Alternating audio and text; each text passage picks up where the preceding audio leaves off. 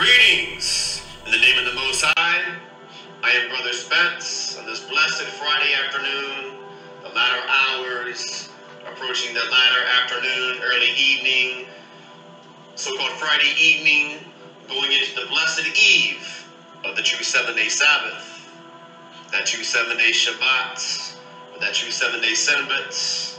As many will say, Shabbat Shalom, Senbet Selam, Sabbath peace to each and every one. Uh, since I've recorded actual commentary on these Torah portion readings, it's been a few weeks. Unfortunately, uh, recently I had a penalty on this YouTube channel due to so-called contents of a video I uploaded over two years ago, and all those politics have come and passed, but you still have politics within the lures of wicked Babylon system and the so-called powers that be, now through modern day technology, in the so-called year of 2023, you have your social media, your Facebook, Twitter, YouTube channels. So there's certain things we can and cannot talk about in a so-called nation of free speech, but that's another topic for another time. Um, anyways, my lady Pamela and I went away on vacation. That's right. We had a wonderful beach vacation at Sandbridge, just south of Virginia Beach, right here in our home state of VA. Had a wonderful time. This very time last week, last Shabbat, we got to see one of the best concerts I've seen in a long time. I got to see my all-time favorite band, Sublime, or one of my all-time favorite bands. I would say Sublime is at least the top 15, top 20. But I got to see Slightly Stoopid, The Movement, which I've seen a couple times already in the past 10 years. Um, we got to see Atmosphere. As many of you know, the underground rapper or the underground lyricist known as Atmosphere and Chali 2na from Jurassic 5 was collaborating with Sublime and Slightly Stoopid and The Movement, and it was a wonderful show, amazing, wonderful show. And my lady and I had a wonderful time. We give thanks that we made it safely back here to Roanoke, Virginia. And this past Shavua, I got a new cast on my arm just about two or three days ago. I had a checkup or a doctor's appointment at the hospital where I had surgery on my hand about two or three weeks ago. So everything is healing right. Hallelujah. Baruch Hashem. So I also did some commentary on a Holy Quran reading. And right when I was about to upload the Holy Quran reading after my recording and study, uh, I found out that I was unable to upload videos on my own YouTube channel for a whole week. But give thanks, that's coming past. My lady and I were ready to go on vacation anyway. Was well needed. Anyways, now's the time to grab your Bible scriptures, your Torah scriptures, grab your Bibles and your Tanakhs. For the Torah is simply the first five books of your Tanakh or your Bible, your modern day Holy Bible, the first five books, also known as the Pentateuch. All due respect. And we see the living word of Ha Elohim, the Elohim of heaven and earth, the one true living, Ha Elohim or Eloah, Allah, aka the sacred name Yahweh, Jehovah, or Yahweh, known as Jehovah, or the Most High Jah of creation, that universal Father of creation, through many divine inspired names, divine inspired languages, similar Afro-Shemitic roots to these uh, Shemitic languages as well, from the Ethiopic, the Rolamharic, the Aramaic, the ancient and modern day Masoretic Hebrew, Arabic, etc., etc. So we're going to break this down and let's take more time to meditate. For those that choose to partake, it's not for everyone. All due respect. Grab your cup of joe, a sip of water, a sip of herbal tea, sip of lemonade, fruit juices, sip of the wine for those that might be drinking in moderation. For those that choose to drink a little, you know, those who choose to drink a little alcohol, I do suggest highly in moderation through self control. Don't drink too much. To drink a little red wine in moderation is an ancient and modern day Hebrew custom. First century Christian or Orthodox Christian custom in moderation. Capital M for moderation. I cannot stress that enough. Too much drink or too much strong drink and drunkenness is not fit for a king or any fellow righteous man or righteous woman. We shun and burn out drunkenness. Brings out too many bad spirits when ones do not or do not maintain that self-control and balance.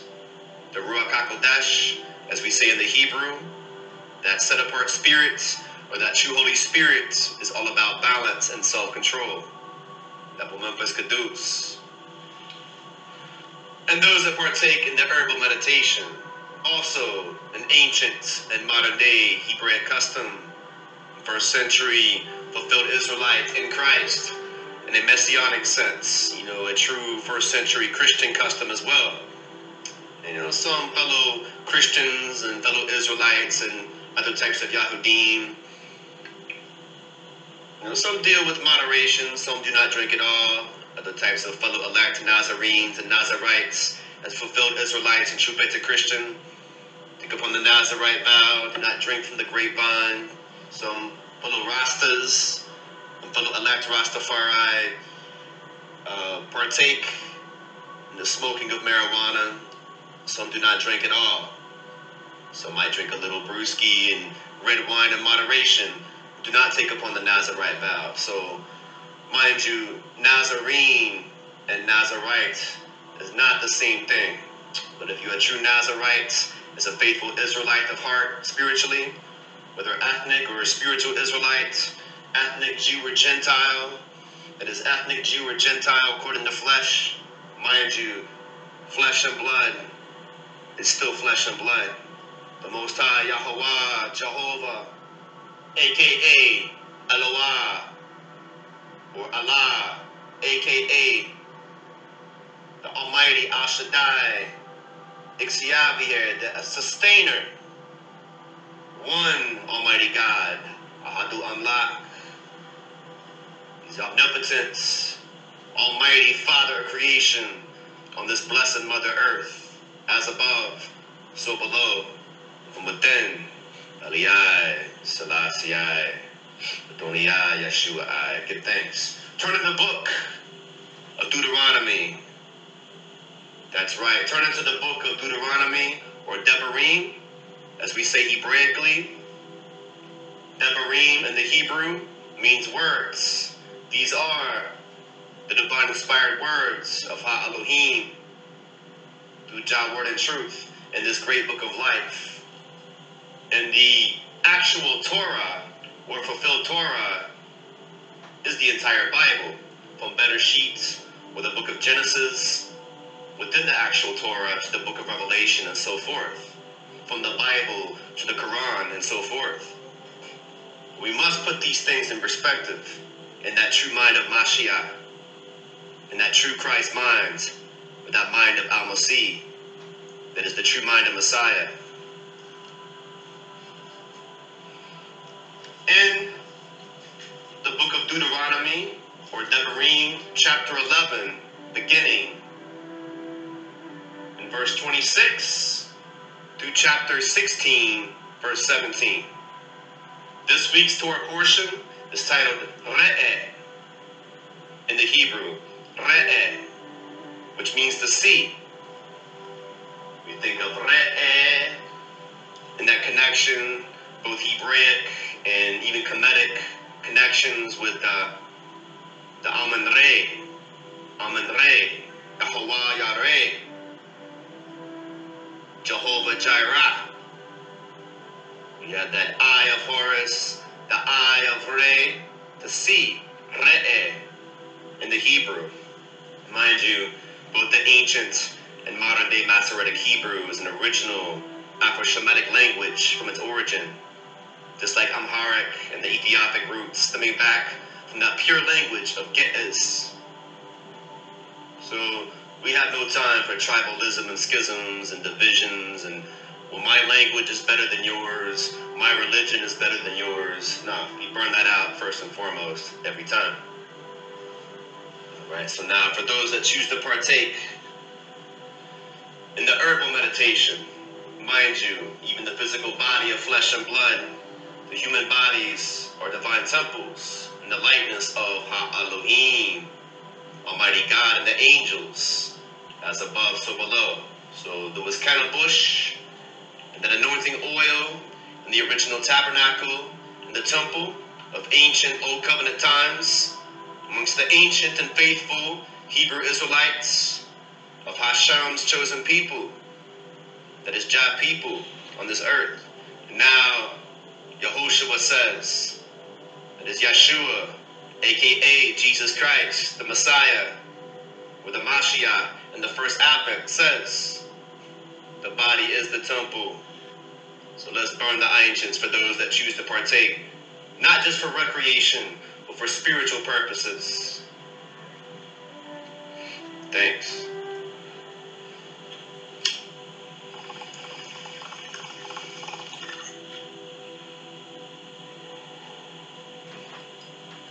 Yeah.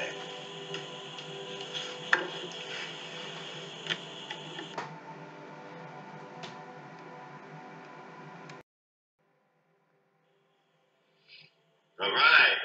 Once again, let's go to the book of Deuteronomy or Devarim, beginning in chapter 11, verse 26. Once again, this week's Torah portion reading and meditation is titled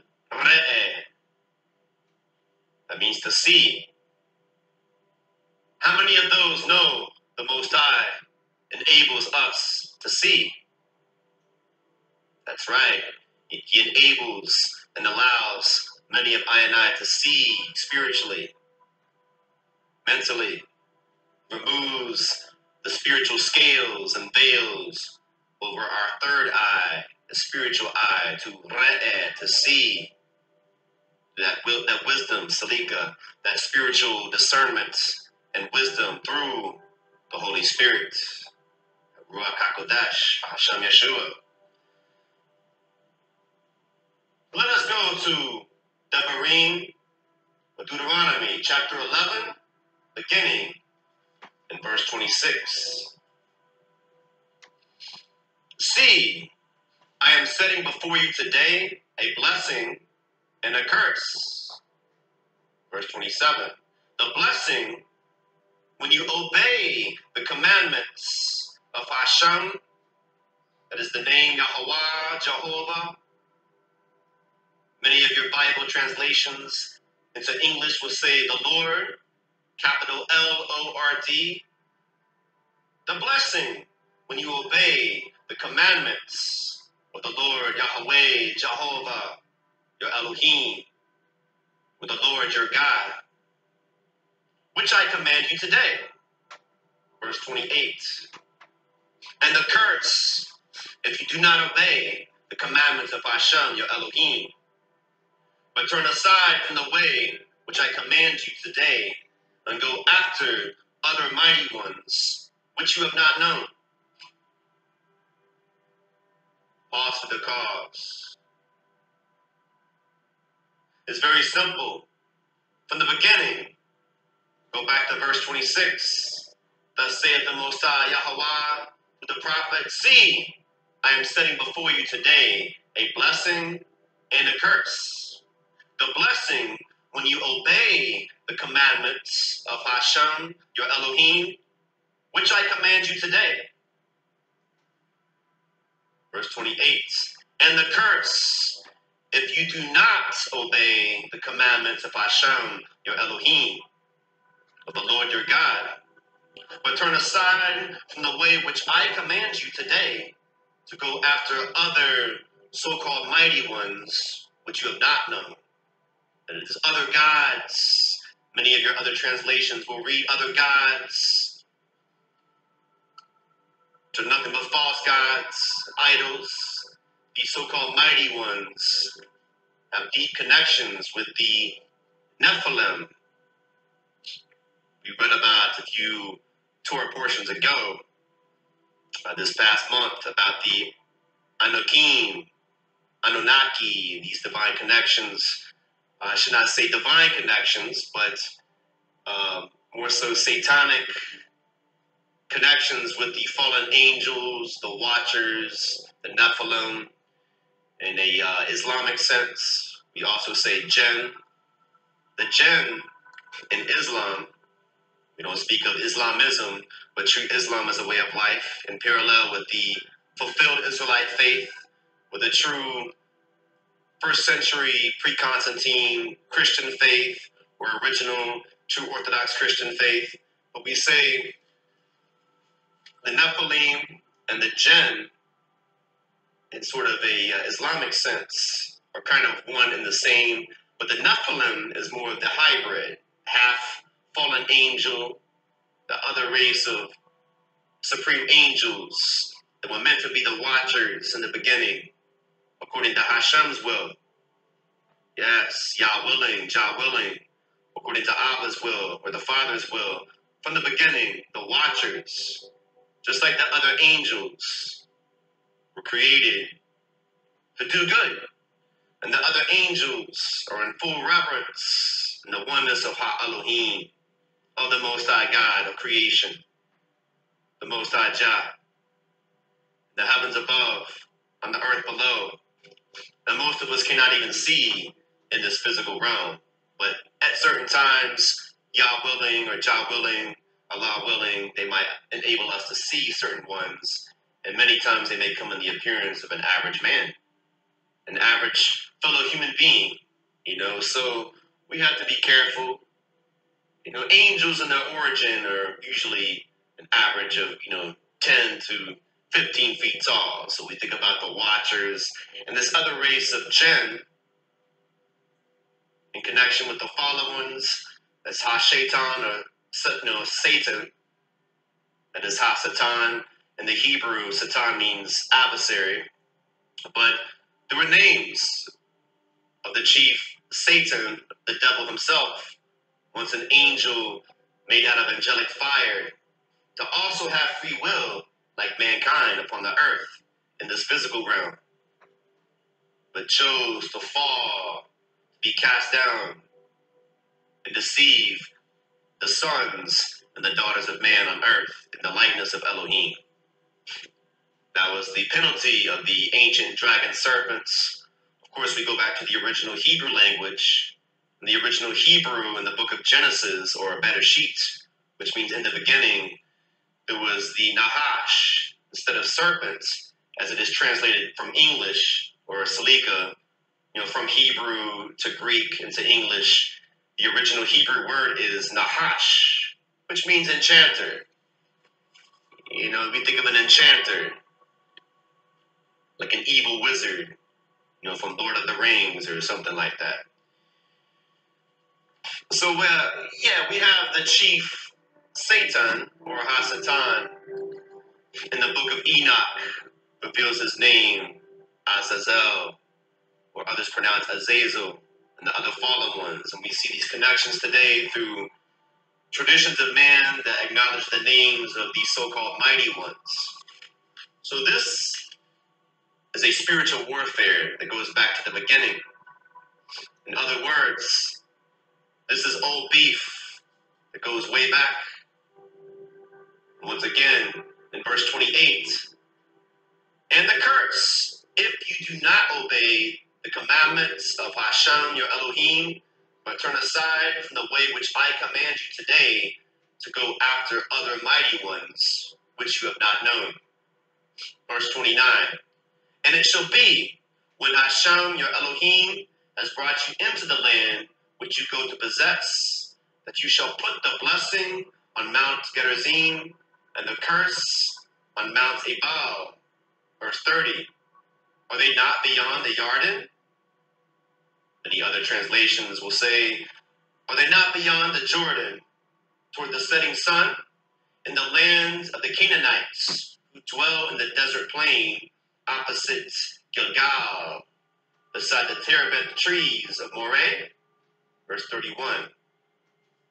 For you are passing over the Jordan to go in to possess the land which Hashem, your Elohim, is giving you, in which the name Yahweh, your Elohim, is giving you, and you shall possess it and dwell in it, and shall guard to do all the laws and right rulings which I am setting before you today. Salika. So we know the previous Torah portion reading it speaks of the commandments. And we have many different mitzvah, we say Hebraically, but different commandments all throughout the Torah. We have the basic foundation of the main Ten Commandments that we are meant to focus on first and foremost within the foundation of Jah Torah. We have the Ten Commandments, or the Ten Words, as we also say Hebraically, the Aseret Devarim, the Ten Words or Ten Commandments we have other commandments and statutes that we are meant to know of, to strive to love and keep to the best of our ability within this present life. This is not legalism. This is called a basic understanding of Scripture. As any true fulfilled Israelites, whether ethnically or spiritually adopted, any true fellow Christian Orthodox Christian, Nazarene, fellow Muslim, in the earlier definition of Muslim or Muslim, which means to submit to the will of Al Shaddai or the Most High. So, what is His will? Well, all throughout the Quran, for example, it speaks of the foundation of Torah. In the Arabic verses as well as the Hebrew, it says we as the Elohim Elohim, God and the angels gave you the Torah and the gospel. Now, in that language, it would be Hebrew to Arabic, so beginning with Hebrew, it would be Brit Hadashah, the renewed covenant. But we can say good news gospel. We've given you the Torah and the gospel. Now stop and meditate on that for a few moments. Just think about that for a few seconds. The Torah and the gospel is your Bible. So even the Holy Quran is telling us throughout generations to go back and read your Bible. Misinterpretations through false religion denominations have distorted the pure interpretation and messages of our Heavenly Father's Word. Believe that. This is why the Most High sends other types of messengers and prophets. Yes, other messengers and witnesses and apostles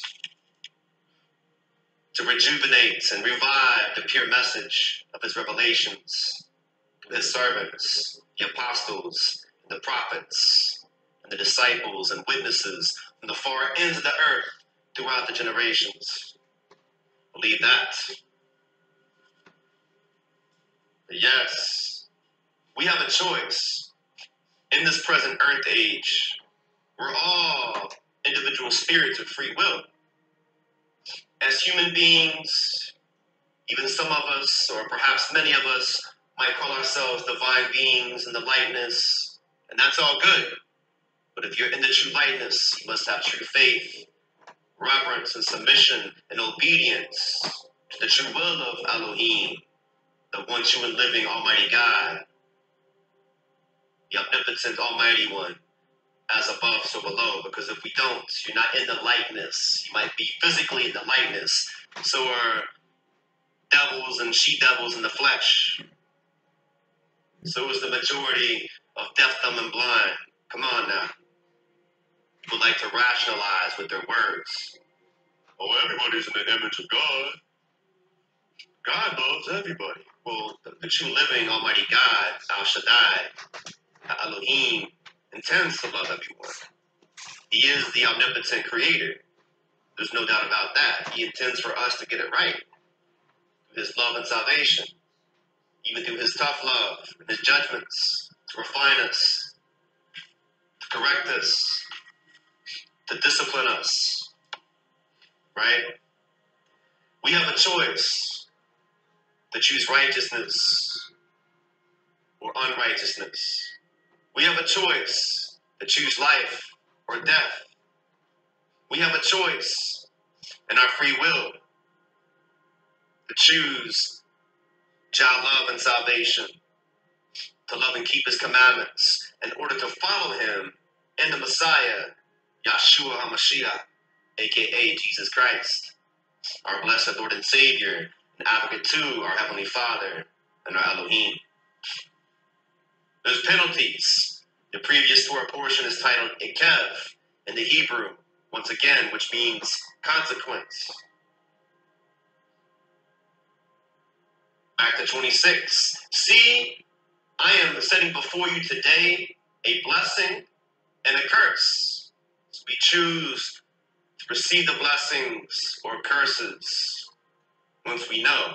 Now, with all that being said, at the same time, I've mentioned numerous times throughout previous video lectures and Torah portion studies that we are saved by grace in these present renewed covenant times, not hyper grace through dispensationalism and schisms. We still burn out those ism and schisms first and foremost every time, but we must grow in grace, saved by Hashem's grace, by Almighty God's grace, in Yeshua HaMashiach. Well, Yeshua in the Hebrew means salvation, translated to Jesus or Isa in other languages, or Jesus, all due respect, Jehovah salvation, basic foundation of Jah love, salvation, which is Jesus or Jesus or Yeshua, Yahushua. But through his salvation and grace, we must grow in grace. So this is why I'm putting out these Torah portion readings. We have to grow in grace. We can't expect to be born big overnight. Like, okay, I got it, Brother Spence. Yeah, okay, I've already connected all the dots. Thank you, brother. I've already connected all the dots and I've got the whole thing figured out. I'm ready to keep these commandments and be an apostle. No, no, no, no. Eventually you will get there. You might be already blessed and, you know, ordained to be what you desire to be more so what the Father desires for us to be according to our destiny. To fulfill our true life purposes as righteous men and women on this earth, as his true children, to be true witnesses and apostles and disciples and prophets and messengers, etc., etc., etc. Right, we can slow down. Of course, we have to grow in his grace, one step at a time. That doesn't mean be still and lean too far right and rely on hyper grace. See, that seems to be the problem. We have what we call today this, um, Salika dispensationalism or dispensation theology. This hyper grace, grace, grace. Oh, I don't have to keep any commandments now. That's Old Testament. Oh, that's this modern day Judaism. Uh, that's for the, the Jewish people or the other Jews oh, well, this is for the Muslims. Oh, I can eat what I want to eat. I can do what I want to do. Well, technically, once again, as individual spirits of free will and as human beings in the flesh, uh, technically, yeah, you can. If you make that choice to go out and dig up a, a old crocodile that's been hit by a big Mack truck on the side of the road and cook it up on the fire and have roasted crocodile for dinner, you make that choice. Is it kosher? Is it necessarily good for your body? Probably not. Will it save your life if you're starving to death? Probably so. So there's pros and cons to everything. But we have to think okay, we're taught lies through organized religion, through all these false religions in the earth, and all these isms and schisms. There's consequence to our choices and actions. Is it a salvational thing? Does it override you know, God's grace or, you know, Hashem's grace through Messiah or through Jesus Christ? No. The blood of Jesus Christ? No. It's not going to override the blood of the covenant through God's love and salvation and through his power. Is it a salvational issue? If you if you did it by ignorance because you were lied to? No. That's why we're saved by grace. But if you know better, we're meant to grow in grace. Now we live to be set apart because there's still a kev, a consequence eating abominations, so-called meats that are not kosher, not clean. You know, that might save your life if you're in the desert, parched and starving to death. But it's not good to eat on a regular basis or even at all if you know better. If you have access to other foods like vegetables and fruits and kosher meats for those that choose to eat meats, right here in the foundation of the Torah, in the Bible, that both the Bible and the Quran speak of might shorten your lifespan, give you high blood pressure and health issues. There's a consequence to everything. So the Most High Yahweh says, I am setting before you today a blessing and a curse. Verse 27, once again, the blessing when you obey the commandments of Hashem your Elohim, which I command you today, and the curse if you do not obey the commandments of Hashem your Elohim, or turn aside from the way, the straight and narrow way, which I command you today, to go after other mighty ones which you have not known. 29. And it shall be when Hashem, your Elohim, in the name Yahweh, Jehovah, your Elohim, has brought you into the land which you go to possess, that you shall put the blessing on Mount Gerizim and the curse on Mount Ebal. Verse 30. Are they not beyond the Jordan for the setting sun in the land of the Canaanites, who dwell in the desert plain opposite Gilgal beside the terebinth trees of Moreh? Verse 31. For you are passing over the Jordan to go in to possess the land which Hashem your Elohim is giving you, and you shall possess it and dwell in it. Verse 32.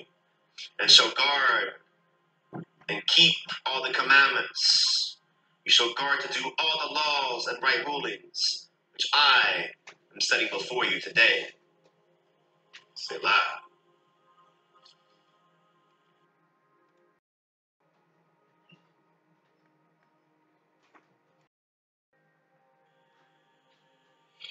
Chapter 12.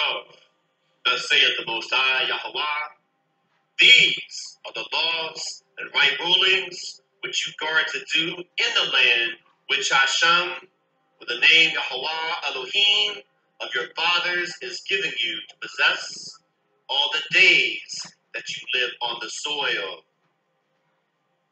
Pause for the cause.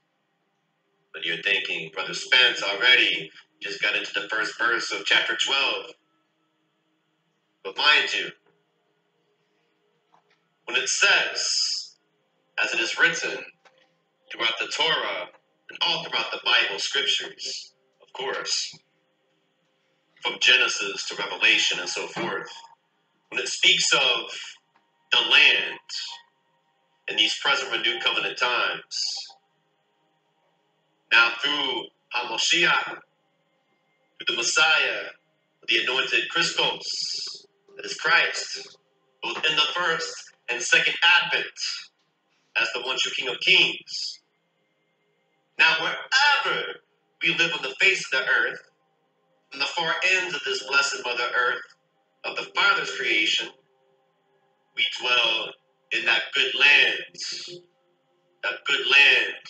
We also say Hebraically Topia, Topia, Ethiopia, that metaphysical and spiritual promised land, which is a state of mind, as above, so below regardless of where we live.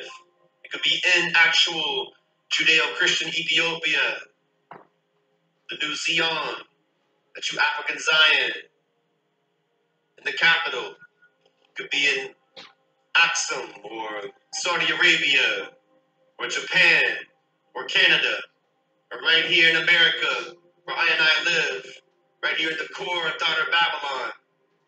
These last of last days the Far East, or right here in this Western Hemisphere, in the North Country, so called North America, South America, Australia, wherever we live, physically and geographically.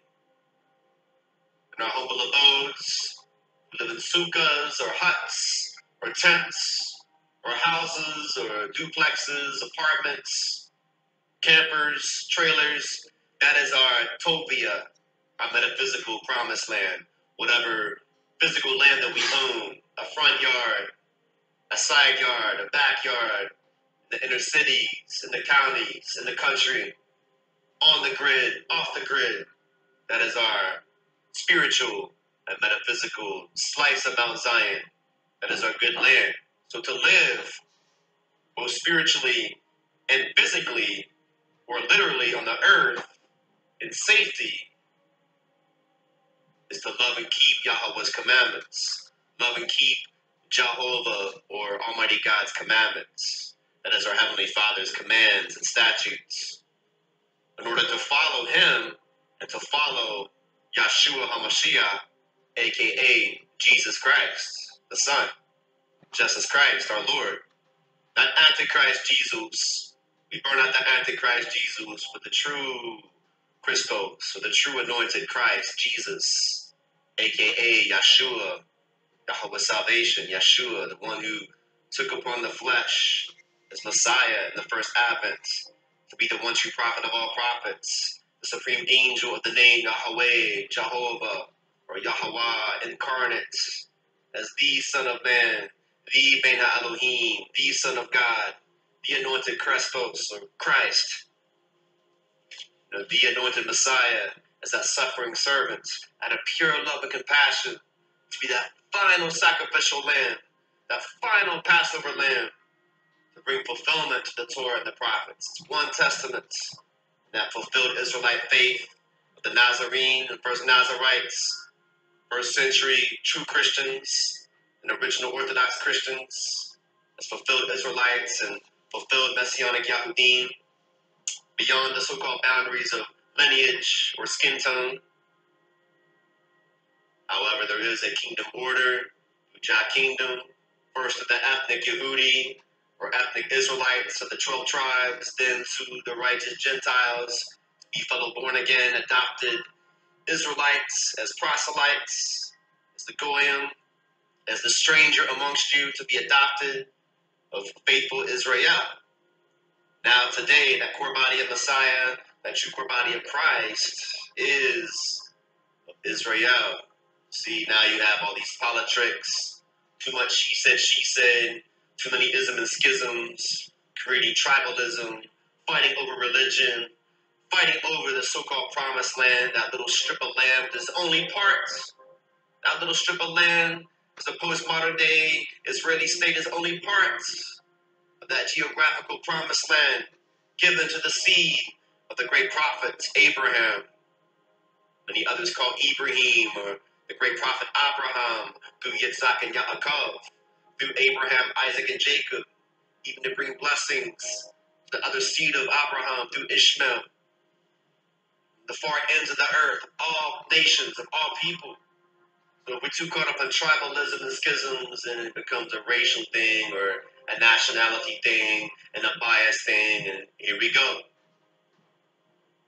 As of right now, you still have lots of tension building up in parts of the Middle East, in the modern day so called Israeli state. Now, tension with Lebanon, still tension with Iran, joining forces with Russia. They've been joining forces with Russia, China, North Korea. We know that prophecy in both the Bible and the Quran concerning Persia and parts of what is identified today as Iran or Iran, and that connection with Russia. Kind of scary. But the true Zion, the true Mount Zion, in these present renewed covenant times, is a state of mind for I and I and we. Go to Revelation. Go to the book of Revelation, chapter 12, verse 17. Those who strive to love and keep the commandments of Elohim, the true living God Almighty, as our Father, and hold the true testimony of Yahshua HaMashiach, aka Jesus Christ, the Messiah, in the first advent. And many of I and I acknowledge the second advent to his majesty as the one true King of Kings, but also rightfully take upon that new name, that precious name, and the rolling hard tongue. Thanks. Many are called, but few are chosen. So, with all that being said, once again, chapter 12, thus saith the Most High Jah, these are the laws and right rulings which you guard to do in the land which Hashem Elohim, which the name Yahweh Elohim of your fathers is giving you to possess all the days that you live on the soil, on the earth.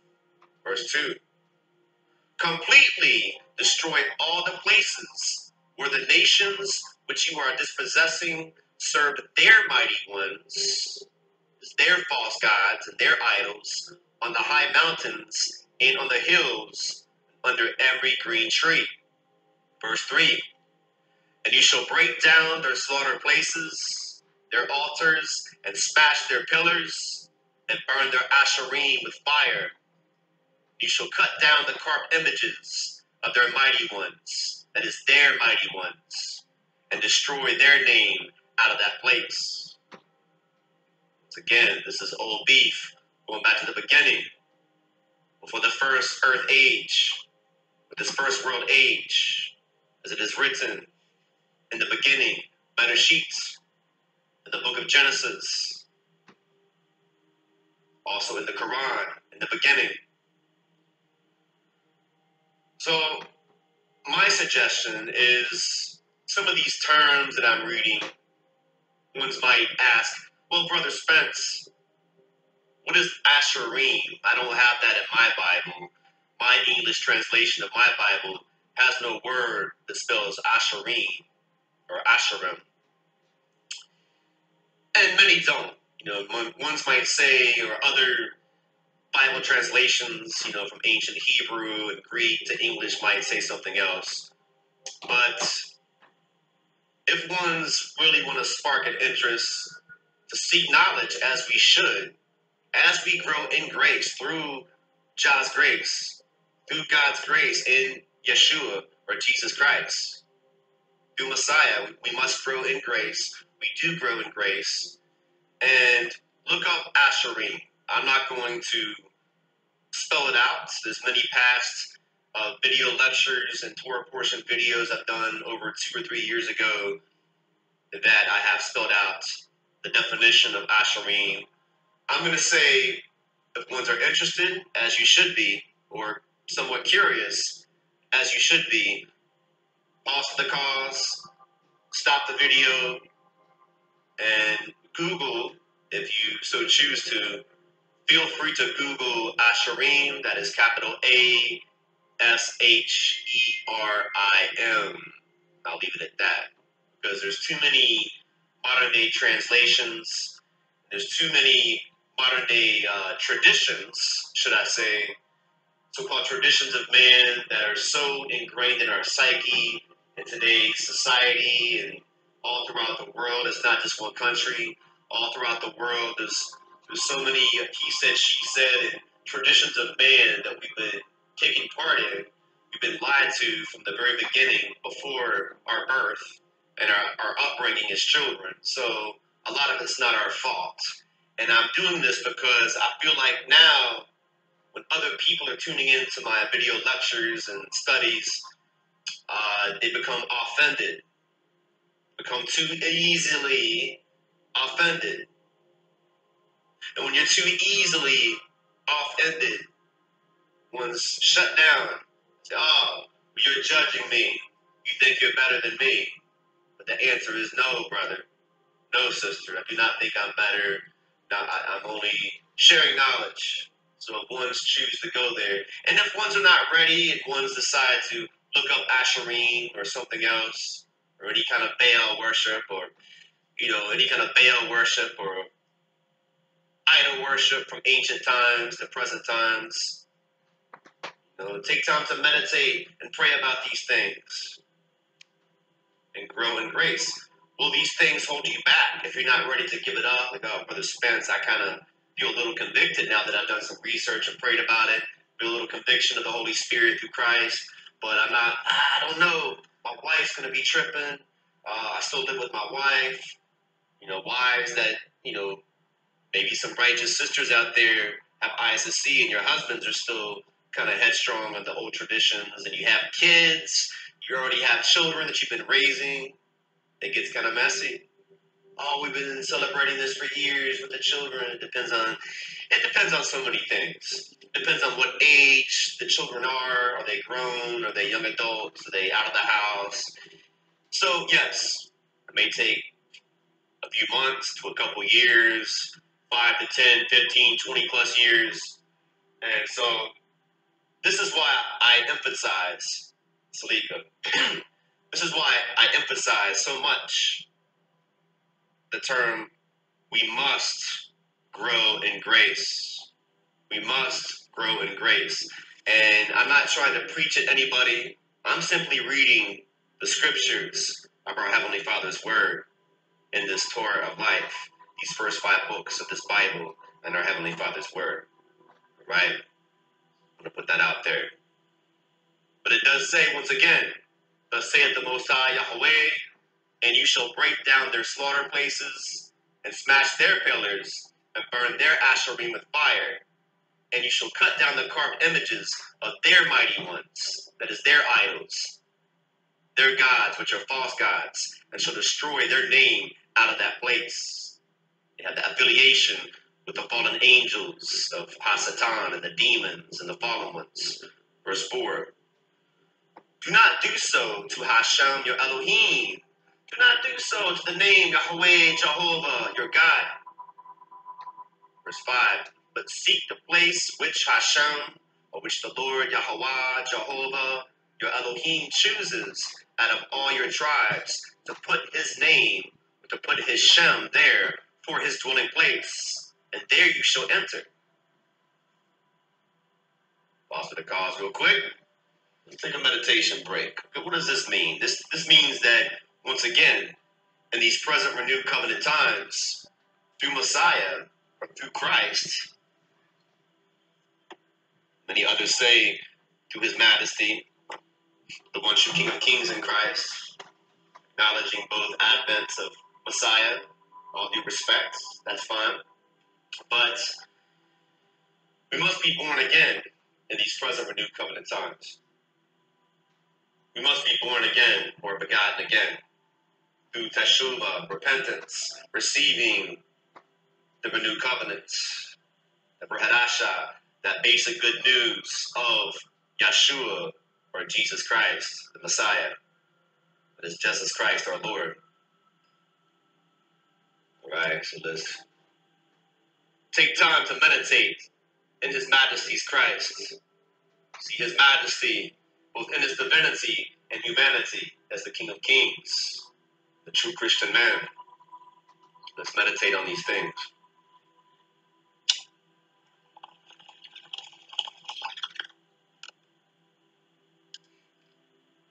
Okay, that metaphysical Zion in your dwelling place.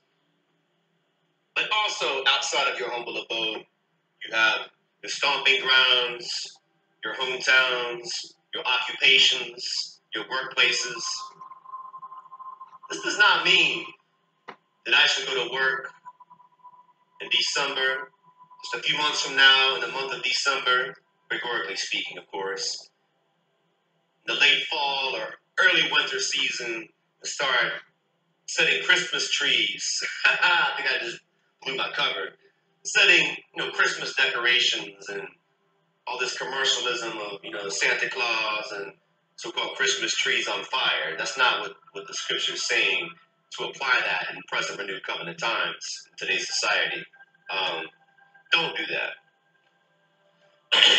um, but this is your dwelling place as far as that's when you cope with Babylon system. And it takes a lot of extra grace in these renewed covenant times through Hashem's grace, through the Most High Jah's amazing grace by Hashem Yeshua HaMashiach, His Majesty in Yeshua HaMashiach, to apply that spiritual Tai Chi, you know, and, and go to our occupations. And sometimes you got to just bite your tongue and, you know, just pick your battles. That's true righteous liberty when it comes to good faith. These are things we learn on this narrow path as we grow in grace. Over the years, we begin to grow in grace in Messiah, you know, through His majesty in Christ. So we begin to Kabbalah receive these higher levels of, of understanding or things that elevate to that higher understanding and ultimately the proper understanding of the overall situation. So don't be fanatical, don't be an actual legalist or extremist. However, at the same time, you feel like you've grown to a level of grace you know, through Hashem's salvation, you know, through through God's salvation in Messiah.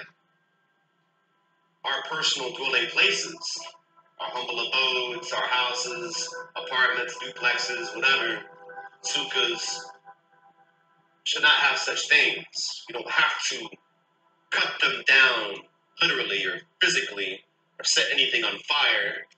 That spiritual fire in the Christ mind. You burn fire and you, and you don't erect or put up anything that's dealing with idol worship or regarding the other mighty ones, so called mighty ones of other nations.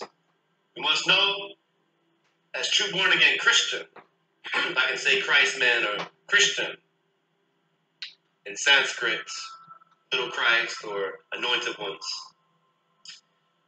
And as true Muslims, we submit to the will of the Most High. As true Christians, we are Christ men. We're anointed because we submit to the will of the Most High. We're faithful. We praise Elohim. The Yehudis, as true faithful Jews, whether ethnically, spiritually, metaphorically.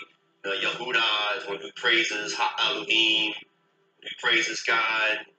You know, there's different different uh, definitions of what is a true Christian.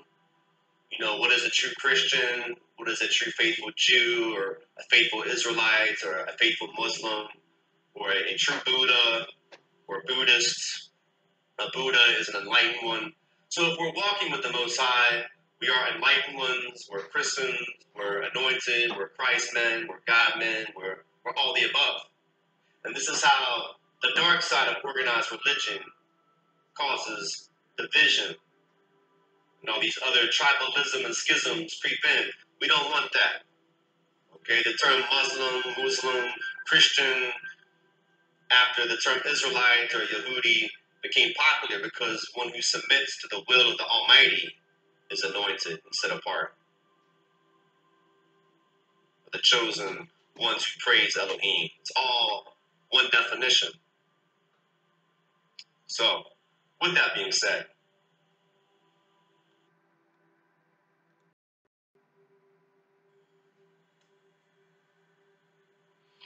all right, so once again, once again, verse 4 says, Do not do so to Hashem your Elohim. Verse 5 But seek the place which Hashem, with the name Yahweh, Jehovah, your Elohim, chooses out of all your tribes to put his name, to put his Shem there for his dwelling place, and there you shall enter. Pause the cause. You shall enter your humble abode. I hope that your houses and your apartments and duplexes and little campers and RVs and whatever you might live, wherever you might live or dwell in, even a tent in the backyard or a sukkah. I hope that it is also the dwelling place of the Most High.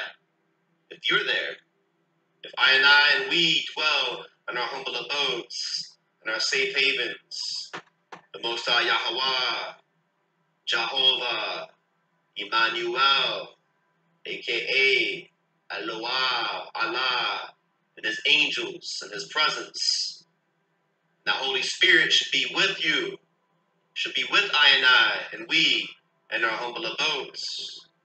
This is how you digest the Hebrew Scriptures, that true Christ mind, that true mind of Messiah. Verse 6 And there you shall take your ascending offerings, and your slaughters, and your tithes, and the contributions of your hands and your vowed offerings and your voluntary offerings and the firstlings of your herd and of your flock, first fruits of your income, whether you work for yourself, that's right, whether you work for yourself or someone else, work a government job, off or on the grid, physically, geographically, That is our tithes. I and I don't go to church. Every once in a while, I might visit a Christian church. All due love and respect. If it's a halfway decent Christian church, to meet people for worship and good fellowship. Salika. But on a regular basis, my church, we use words like church, which is assembly, is with I and I and we. Even, even must I express in my own solitude, my own privacy, in my own humble abode. Emmanuel is with I and I through his Holy Spirit, that Ruach HaKodesh, Bahasham Yeshua, even more so through his majesty, the one true King of Kings in Yeshua HaMashiach, or through Jesus Christos, regarding Messiah, my blessed Lord and Savior, both in the first and second advent, as the one true King of Kings, to also rightfully take upon that new name, to rightfully take upon that new name, that precious name, in the roll of our tongue. It was worthy to open the book of the seven seals thereof.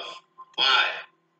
The first advent, was sacrificed, slaughtered, out of pure love and compassion for I and I and we, for mankind, throughout the generations. Don't forget that. That is the first fulfillment, that first original fulfillment of Jah Torah and the prophets. So, once again, your sacrifices, your offerings, your daily supplications, your daily prayers and meditations through teshuvah. We also say in the Hebrew, teshuvah or metanoia in the Greek, which means repentance. With daily prayers, we should take that time to meditate, to discipline ourselves, meditate and pray at least three to five times a day, if not more. Chant the Psalms. Every prayer throughout an average daily cycle doesn't have to be a long prayer, mind you. Reading some verses in your Bibles, in your Torah scriptures, chant the Psalm, read from the Quran. Verse 7 And there you shall eat before Hashem your Elohim and shall rejoice in all that you put your hand to, you and your households, in which Hashem, with the name Yahweh, Jehovah, your Elohim, has blessed you. So once again, pause for the cause. Take a little more time to meditate and digest these verses, these divine inspired scriptures within that true mind of Messiah, with that true Christ mind. All the work we put in today, whether we live on or off the grid, in the city, the counties, and the countries, whether we work for somebody else, whether we work for ourselves and have our own business, our own trade, whatever it might be in these present renewed covenant times, or even a government job in the city. I and I still live set apart through faith and righteous liberty. Yes, give thanks and praise.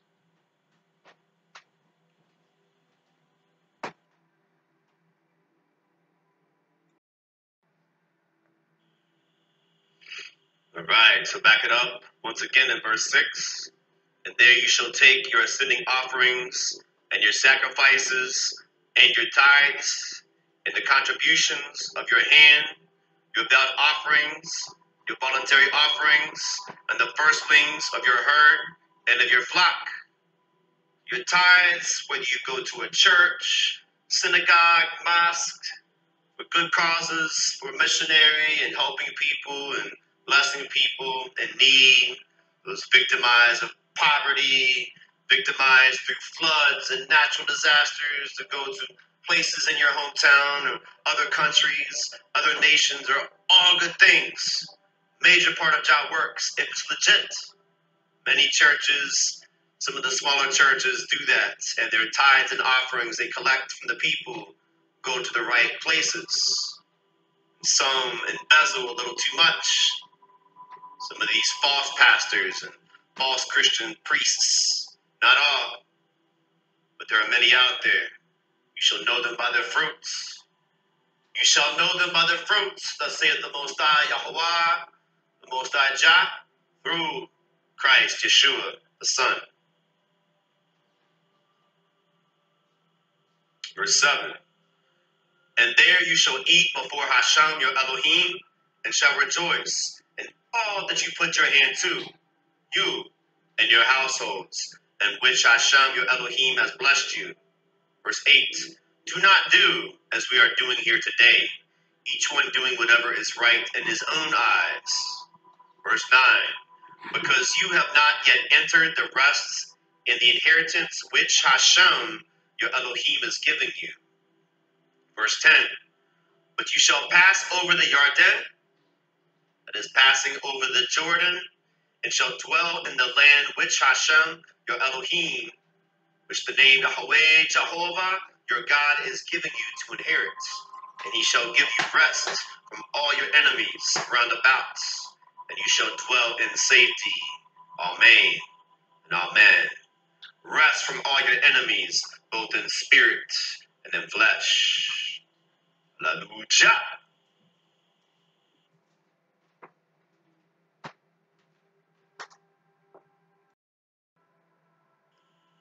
Okay. Verse 11. And it shall be that unto the place which Hashem, your Elohim, chooses to make his name dwell there, there you are to bring all that I command you your ascending offerings, and your sacrifices, and your tithes, and the contributions of your hands, and all your choice offerings which you vow to Hashem. Vow to the name Yahweh, Jehovah. Make a vow to the Most High Jah. Verse 12. And you shall rejoice before Hashem, your Elohim, you and your sons and your daughters and your male servants and your female servants and the Levites who is within your gates, since he has no portion nor inheritance with you. Pause for the cause. So, your slaughters or your sacrifices in these present renewed covenant times through Messiah, mind you. Salika. our sacrifices, our slaughters, in renewed covenant times, through Christ Yeshua, through his majesty, the King of Kings in Christ Yeshua, as our daily meditation, our daily prayers, supplication, through daily teshuvah, his daily repentance. We take that time to meditate and pray at least three to five times a day, whether it's internal breathing meditation, verbal, spiritual, you know, repentance, and prostration to the earth. Sometimes I and I stand before the King and the King of all kings, before Almighty Al Shaddai, give praise. So those are our daily sacrifices and slaughterings. Our tithes, once again, ones that choose to go to a decent, legit Christian church, not these false Christian churches, but a halfway decent, if not good, Christian church, or a genuine synagogue or mosque or temple. And you know the tithe money is going for a good cause. That's good. That's where your tithe must go. Y'all willing. God willing. However, to speak for myself and many others. Once again, I don't normally go to church on a regular basis as far as an organized Christian church or gathering. But many of the first fruits, that 10% first fruits of my income, through Yahweh's grace, through the Most High Jah's amazing grace, Hashem Yeshua HaMashiach, I give thanks. Many of my uh, first fruits of my income, my biweekly paycheck my government job, I set aside to go into money to buy care packages and food and pocket Bibles for the homeless, It's a project that a fellow born again brethren in Christ and a good friend of mine have talked about, you know, for a while. So that can be and should be your tithes and offerings to carry out your works or through whatever method, whatever method that may be. Once again, it shall be unto the place, whatever place that might be, whether ones go to church or not, which Hashem, the name Yahweh, Jehovah, your Elohim, chooses to make his name dwell. Once again, I hope your humble abodes and your own dwelling places where you rest your head on a regular basis as the presence of Emmanuel and the angels there. Whichever Elohim chooses to make his name or to make his Shem dwell there, there you are to bring all that I command you your ascending offerings, your slaughters, your tithes, and the contributions of your hands, and all your choice offerings which you vow to Hashem. Verse 12 And you shall rejoice before Hashem, your Elohim, you and your sons and your daughters, and your male servants, and your female servants, that is, hired employees, if You have your own business, not Slavs. That Slav, or the term slave, was inserted to many false interpretations and mistranslations from the original Hebrew, even the ancient Greek, to so called English, outside of the original King James Bible, or the original Hebraic translations more of that original Hebrew Bible or Ethiopian Bible, also written in the Amharic. The Ge'ez, more of that pure language, right? The Hebrew says, your male servants and female servants, your employees, and the Levites who is within your gates, since he has no portion nor inheritance with you, what your portion is your ties to the Father, to Al Shaddai and to the Kohen Gadol, that is Jesus Christ, aka Yeshua HaMashiach, the ultimate high priest, as our blessed Lord and Savior and advocate to our Heavenly Father and our Elohim. Amen. This is how you properly digest the Hebrew Scriptures in that true mind of Messiah or within the true Christ mind. Verse 13 Guard yourself that you do not offer your ascending offerings in every place that you see. Verse 14 Except in the place which Hashem chooses in one of your tribes. There you are to offer your ascending offerings, and there you are to do all that I command you. Your ascending offerings or other things and praises, meditations, Verse 15 Only whatever your being desires, you shall slaughter, sacrifice, and eat, according to the blessing of Hashem, your Elohim, which he has given you within all your gates. The unclean and the clean do eat of it, of the gazelle and the deer alike. That means people of the clean or unclean eat the gazelle and the deer, which are kosher animals, that is kosher meat for those that choose to eat meat, mind you. Verse 16. Only the blood you do not eat. Pour it on the earth like water. Verse 17. You are not allowed to eat within your gates the tithe of your grain, or of your new wine, or of your oil, or of the firstlings of your herd, or your flock, or of any of your offerings which you vow of your voluntary offerings, or of the contribution of your hand. Right? Verse 18. But eat them before Hashem, your Elohim, before the Lord your God, in the place which Hashem, your Elohim, chooses, you and your son, and your daughter, and your male servants, and your female servants, and the Levites, who is within your gates and you shall rejoice before Hashem. Rejoice before the name Yahweh, Jehovah, your Elohim, in all that you put your hands to. In today's present, renewed covenant times through Messiah, through Christ, through His Majesty in Christ, all we put our work to. Our day jobs, our occupations, once again, whether we physically or geographically live on the grid, off the grid, despite the lures of Babylon system, to cope with Babylon, but still be set apart. Verse 19 Guard yourself that you do not forsake the Levite as long as you live in your land.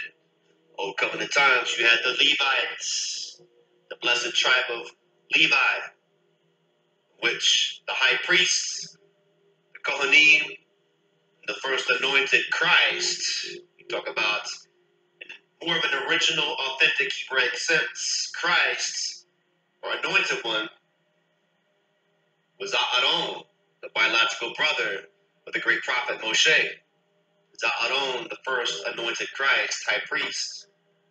So the blood of the covenant back then was the precious sacrifice of innocent kosher mammals, clean mammals without blemish, prophetically and spiritually foreshadowing Hamashiach in the first advent, that is the anointed Christos or Christ as the Messiah, to be the one true prophet of all prophets, Amasi, in the first advent, as that suffering servant, the one true rabbi of all rabbis, the one true imam of all imams and priest of all priests, the ultimate Kohen Gadol or high priest is the Lamb himself and Messiah himself as our Lord and Savior, took upon the flesh of man.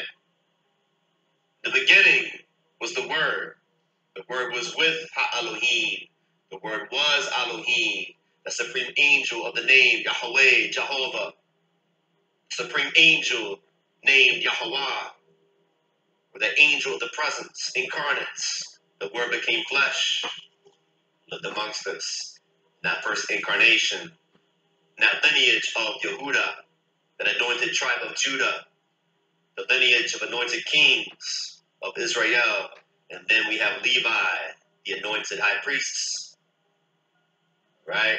Do not neglect in these present renewed covenant times both the humanity and divinity of Yeshua HaMashiach, aka Jesus Christ, aka Jesus Christos, aka Isa, the great prophets that just so happened to be the one true prophet of all prophets and Mashiach or Al Masih before the great prophet Muhammad, peace be upon him, all due love and respect.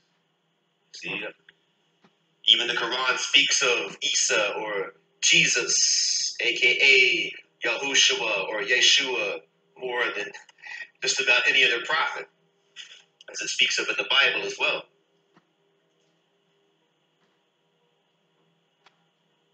Do not neglect the ultimate Levites, the high priest, and the King of Kings, as Messiah, both in the first and second advent of His Majesty, especially the first advent of Christ or Hamashiach. Do not neglect Yeshua or Jesus Christ. It is a commandment, not an option, to repent and receive the renewed covenant.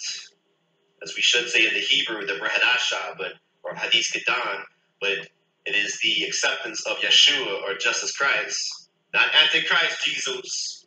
We burn out that Antichrist Jesus every time, the true, anointed, original, true Christ Jesus, whose name is Yeshua, Yahushua HaMashiach, that is Yahweh salvation, Jah salvation, Allah salvation.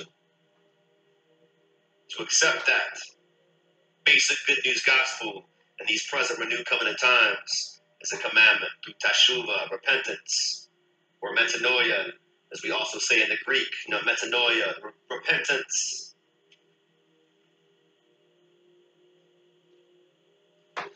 Verse 20. When Hashem, your Elohim, enlarges your border as he has promised you, and you say, Let me eat meat, because you long to eat meat, you eat as much meat as your being desires. Verse 21. When the place where Hashem, your Elohim, is the name Adonai or the name Yahweh, Jehovah, your God chooses to put his name is too far from you, then you shall slaughter from your herd and from your flock, which Hashem has given you, as I have commanded you, and you shall eat within your gates as much as your being desires. Pause for the cause once again. Put this in proper reading comprehension, as we all should. For those that choose to eat meat, not for those who have taken upon a certain Nazarite vow. You know, as a true Nazarite, must also be a Nazarene. You know, but as a fulfilled Israelite or a faithful Israelite or Yehudi or a true Christian, you must be a Nazarene.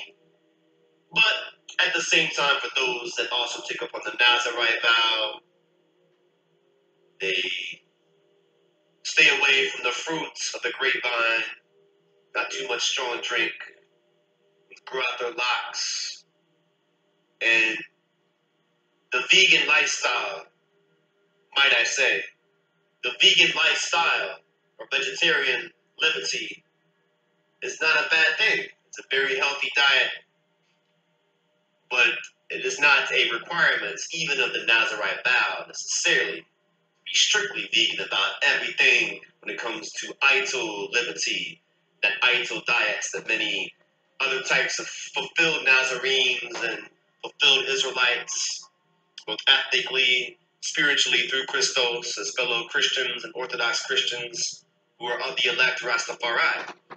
Those who get into uh, Pan African consciousness as well, you know, Kemetic and biblical consciousness combined. But there are different dimensions of fellow elect Rastafari, amongst other types of fellow you know, ethnic and spiritual Israelites of faith in Messiah, and other types of Christ men and Christian. So let's not judge each other. Let us not judge each other based off what one eats or choose not to eat or drink. But right here, thus saith the word, thus saith the Most High, Yahweh, Jehovah. Those that choose to eat meat, through Jah word and truth, through Jah Torah of life, he gives us basic guidelines and instructions and commandments for those that choose to eat meats. And yes, I and I speak for myself. I do eat meat. I deal with Christ man consciousness as a true Christian spiritually, not so much religiously, more spiritually as a cryptic Muslim slash Christian slash fulfilled Israelite, you know, because as true Christians, we are really fulfilled Israelites in Christ through Messiah. Um, that is our true spiritual identity according to what the Bible says. I'll say it again one more time. that is our true spiritual identity according to the Bible through Messiah. Connection with both ethnic and spiritual Israel, the true, repentant, faithful remnant of ethnic and spiritual Israel in the body of Christ the body of Messiah. So, anyways, with that being said, with all that being said, verse 21 When the place where Hashem, your Elohim, chooses to put his name is too far from you, once again, then you shall sacrifice from your herd and from your flock, which Hashem has given you, as I have commanded you. And you shall eat within your gates as much as your being desires. Yahweh is merciful. Most High Jah is merciful. Verse 22. Only as the gazelle and the deer are eaten, so you are to eat of it. The unclean and the clean alike eat of it. Verse 23. Only be strong not to eat the blood, for the blood is the life. Do not eat the life within the meat. For the cause. Once again, so even if it's kosher meats like beef, chicken, fish, lamb, that's all good. Those of I and I who choose to eat meat, the foundation of Jah Torah, Jah's commandments, his basic guidelines and instructions tell us we are able to eat if we choose to eat meat, along with vegetables and fruits on this earth All right? Let's not get legalistic about that. Don't be a Pharisee. Even a Rasta Pharisee will be like, oh, boy, you know, you, know, eating all the dudders and eating all the dead animals. You're not supposed to. A lot, a lot of prestige has crept into these movements, which are not bad things. Once again, I stress vegan diets and vegetarian diet is even more healthy. I, I encourage I, and I encourage ones to go for a vegan diet. Let's not be Pharisees, even if one is not applying the basic food laws according to the Bible or the Quran or Torah. You know, they're still eating pork. You love them in grace. We all must grow in grace. Don't forget that. Don't want to be hypocrites. We're not called to be religious hypocrites and Pharisees and legalists. Although when I speak of these things and actually read from the Torah, I might sound like a legalist to those who are leaning too far right into dispensationalism, schism. Well, let's focus on what the word of Elohim says. Verse 23, once again, only be strong, do not eat the blood, for the blood is the life. Do not eat the life with the meat. So, speak for myself. On a rare occasion, if I go out to a steakhouse, most of the time when I choose to eat meat is chicken or fish. But if I have a steak on a rare occasion, once or twice a year, or whatever it might be, I tell them medium well. Get the blood out. Now, don't be over legalistic about it, but just still tastes good. You know, a little protein is good for the body. All right, but make sure it's cooked medium well, if not well done, because you don't want to eat too much blood. It's not good for you. Do not eat it. You pour it out on the earth like water. Verse 25. Do not eat it that it might be well with you and your children after you, when you do what is right in the eyes of Hashem. Hallelujah. Verse 26 Only the set apart gifts which you have and your vowed offerings you are to take up and go to the place which Hashem chooses. Verse 27 And you shall make your ascending offerings, the meat and the blood on the slaughter place of Hashem, your Elohim, and the blood of your altar is poured out on the altar of Hashem, your Elohim, and then you eat the meat, if you so choose. Verse 28 Guard and obey all these words, which I command you, that it might be well with you and your children after you forever. When you do what is good and right in the eyes of Hashem, in the eyes of the name Yahweh Jehovah, your Elohim. Verse 29. When Hashem, your Elohim, does cut off from before you the nations which you go to dispossess, and you dispossess them and dwell in their land. Verse 30. Guard yourself that you are not ensnared to follow them after they are destroyed before you, and that you do not inquire about their mighty ones their so called mighty ones, saying, How do these nations serve their mighty ones? And let me do so too, as well. Verse 31 mm. Do not do so to Hashem your Elohim, for every abomination which Hashem hates, they have done to their mighty ones, that is, their gods, which are nothing but false gods and idols they even burn their sons and daughters in the fire to their mighty ones, their idols. All the words I'm commanding you, guard to do it. Do not add nor take away from it. Also the gods. Just finished up with chapter 12, Deuteronomy. But let's go back to verse 31 once again. Abominations of people burning their sons and daughters in the fire to their so called mighty ones, that connection with the fallen angels of the Jinn, the Watchers, also recorded in the book of Enoch, parts of the Bible, the Quran, the connection with the Watchers, the Jinn, we say once again, a uh, Islamic perspective, the jinn, another set apart race of angels made from angelical fire in this vacated space, as we also say Kabbalistically or metaphysically, this vacated space we know as the universe, our present universe or galaxy. So we have a certain distance from Elohim, which, like the sons of man, like the sons and daughters of Elohim, created from the dust of the earth, known as mankind, created from the dust of the earth and our physical bodies in this physical realm, we are in the image of Ha Elohim, right? Almighty God and the angels, as above, so below, from within. Most of Hashem's angels do not possess that degree of free will, but they are blessed, righteous angels, servants, and divine warriors.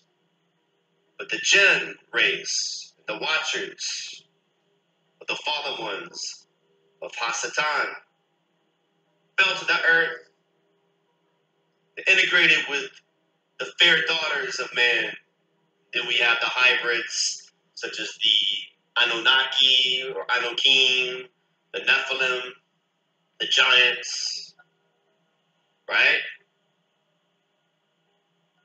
When I think about, for they even burn their sons and their daughters in the fire to their mighty ones, that is, their false gods, which are idols, going against the main commandments of the true living Almighty God, as our Heavenly Father and our Elohim. I think about that classic movie, uh, Beastmaster. This evil tyrant was throwing these children to the fire. I used to watch that when I was a kid in kindergarten. He's this evil, uh, medieval tyrant would pick up these children and throw them into the fire as sacrifices to their demons and their gods. The Beastmaster was the hero in that movie, and I need to go back and I need to go back and watch that movie and kind of catch up on the details, but it just makes me think about that. But how is that any different than today? Well, there are some differences, but in today's modern day society, or what we call society today, in this wicked Babylon system. And it's not just one country or one nation, it's a beast system. Satanic world Seclorum, other countries, other continents, other nations, languages, etc., etc. Why do we dumb down and not only dumb down, but we even you know, liberates and elevates these things such as abortion, to legalize abortion, and dumb these things down as uh, as okay or something good, mixing all other types of isms and schisms with so-called liberalism and conservatism through politics, got people divided got families divorced and you know husbands and wives divorced and babies daddies and baby mamas running around and you know innocent children. With broken families we think oh well abortion is a good thing. Call good evil you call evil good it's never a good thing. Now verse 32 all the words I am commanding you, thus saith the Most High Yahweh, all the words, Devarim, I am commanding you, guard to do it, do not add to it, nor take away from it. So we go back to the previous couple Torah portions in Devarim or Deuteronomy chapter 4, verse 2, I believe, it speaks of the same thing do not add or take away from the Torah. You look at today's false religions, the majority of false religions and counterfeit Christianities, for example. not the true Christianities. I'm not making any blanket statements about the majority of so-called you know, Christian churches, excuse me, so-called Christian churches or Christianities. I'm not talking about all denominations, but many, if not the majority, are still wallowing in dispensation theology. So replacing actual commandments of the Most High, even the teachings of Christ that go back to the commandments of the Father, replace the main Ten Commandments with doctrines of man and traditions of man. Now, with that being said, most decent, you know, Catholic or genuine Catholic and Protestant Christians, you know, keep most of the main Ten Commandments if you have a basic moral compass and you're a decent person, if you're a good person with a good heart, then you don't steal, you don't bear false witness and deceive people, manipulate people, you don't cheat on your spouse, you don't unjustly murder somebody. So, you know, through Messiah, through Christ, we're covered by grace and we're all bearing our crosses and dealing with life. We're all dealing with life and having to cope with Babylon's system on some scale. But John Word says, do not add or take away. Food for thought. Food for thought. You also have other types of ism and schisms like Judaisms, as opposed to fulfilled Judaism as a way of life, parallel to that fulfilled Israelite faith, that true early Christian faith. And that's dealing with more of a pure interpretation of Torah and the Tanakh, which is good. The other Yahudim, the majority, besides fellow Messianic, Torah observant Yahudim and Yeshua, the Messiah, the other ones all, all respect and reverence to Elohim through the same Hebrew scriptures. They have more of a pure traditional way of keeping these commandments and still receive blessings for keeping these commandments, but not according to knowledge.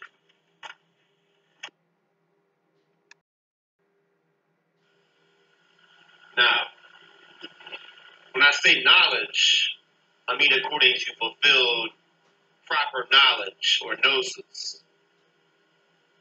Don't get it twisted and let no one twist my words. Of course, in Judaism, as opposed to Judaism, but different realms of more legit forms of Judaism, besides Messianic Judaism, more legit forms of, of true Orthodox Judaism, all due respect, the ones that don't feed into the other isms and schisms of extreme Zionism, tribalism, etc., etc. I see amongst my fellow brethren, fellow brethren and sister of faith, in reverence to Elohim. But the full gnosis, that full complete knowledge, yes, according to proper knowledge, the same original Hebrew scriptures is key within Hamoshiach within fulfillment of Amosi or the anointed Christ or Christos. Because the Levites in your land, unless you know of an ethnic Hebrew Israelite from the tribe of Levi, that would be an ethnic Levite, according to lineage.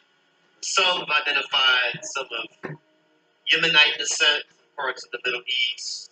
Uh, some might refer to some of the Haitian people, some of the other types of African slaves brought on cargo ships to the West Indies and parts of Haiti, parts of Jamaica, other parts of the Caribbean, other parts of the Americas, but mostly of Haitian descent and African descent of the Levites. And that's only according to flesh and blood. Do we have proof of one's DNA to line up with the Aaronic or the sons of Aaron? That is the sons of the first anointed high priest, the biological brother of the great prophet Moshe or Moses. We don't, we you know, think about it. We don't have time for that. The Levites in these present renewed covenant times is Yeshua HaMashiach, or Jesus Christ, the Messiah.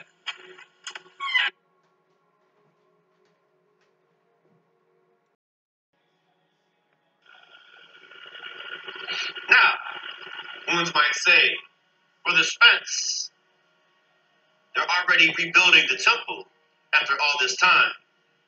Okay, but they're still in process of supposedly rebuilding the temple, the so-called third temple. Right? If you want to know about the true third temple, make that divine connection with the third Jesus or third Yeshua within the true Christ mind, the you might of Messiah, both spiritually, even metaphysically, to some degree. No blasphemy, 100% right and exact. So, where is the temple or tabernacle today? You have a mini tabernacle or altar in your backyard, whether you live in the city, the county, out in the country, you got your own piece of land, that's all good. But do you have a temple or a little tabernacle? And if so, do you have an ethnic Levite? The sons of Aaron, that lineage from the first Kohen Gadol, the first anointed high priest, Aaron. Okay, and then even so, do you have enough kosher lambs and rams and oxen and goats? Your burnt offerings, your sin offerings, guilt offerings.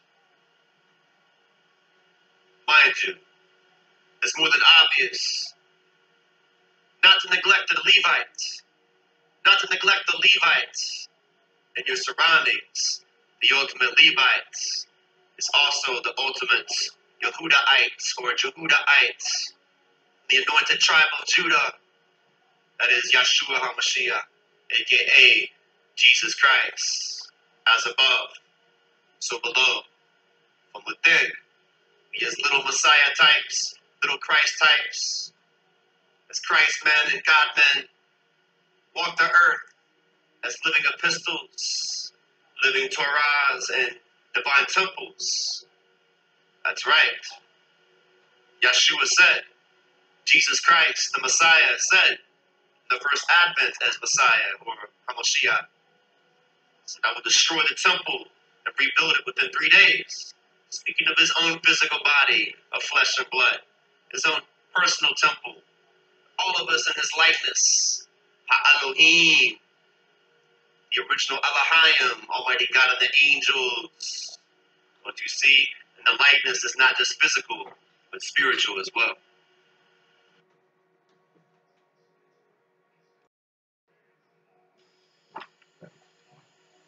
Chapter 13, verse 1 When there arises amongst you a prophet or a dreamer of dreams, and he or she shall give you a sign or a wonder, verse 2 And the sign or the wonder shall come true, of which he or she has spoken to you, saying, Let us go after other mighty ones, after other so called gods, which are false gods and idols, which you have not known, and serve them.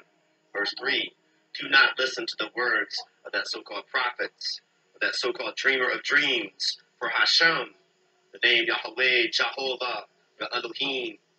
The Lord your God is only testing you to know whether you truly love Hashem, your Elohim, with all your heart, with all your might, and all the essence of your being. Verse 4 Walk after Hashem, your Elohim, and fear him. Revere him, and guard and keep his commandments, and obey his voice, and serve him and cling to him.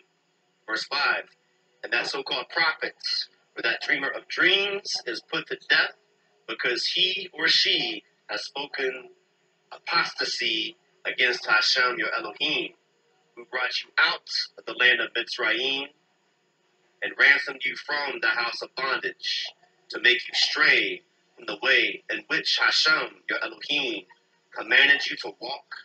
Thus you shall purge out the evil from your midst. Lie. Pause for the cause. Now, these are old covenant times. That is obvious. Many other ones at this point in time now may chime in and say, Brother Spence, this is Old Testament.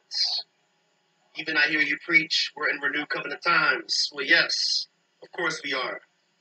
And of course you hear me preach that based off actual facts. but there's not anybody there in today's society of Babylon system, they're to stone you. There's not a Levitical priesthood set up in a tabernacle or temple in our hometowns, in our cities or countries, wherever we live. So the ultimate high priest is Yeshua. The ultimate Kohen Gadol, that final high priest is Yahushua HaMashiach, aka Jesus Christ, the Messiah, our blessed Lord and Savior, and Mashiach in the first advent.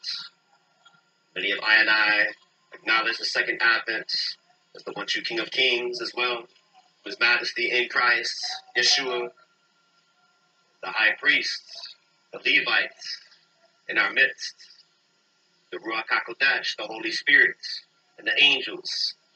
We also say, in the name of the Father, in the name of the Son, in the name of the Holy Spirit, Yai Selassie, the power of the triunity, the power of the Trinity, which is the triune Elohim, one Elohim, one God. Right? So now, when one's actually get caught up in intentional idolatry, not subliminal idolatry, because we live in a wicked society in these last of last days and wicked Babylon system that tell us to celebrate this or celebrate that, you know, according to season. Oh, well, it's this time of the season. It's time to break out these commercialized decorations and celebrate this or celebrate that with your friends and your family and your children. It's innocent, dumbed down, innocent fun for the whole family. It's just innocent traditions of man, brother. Don't be a legalist. You gotta take time to really meditate on these scriptures. Mm-hmm.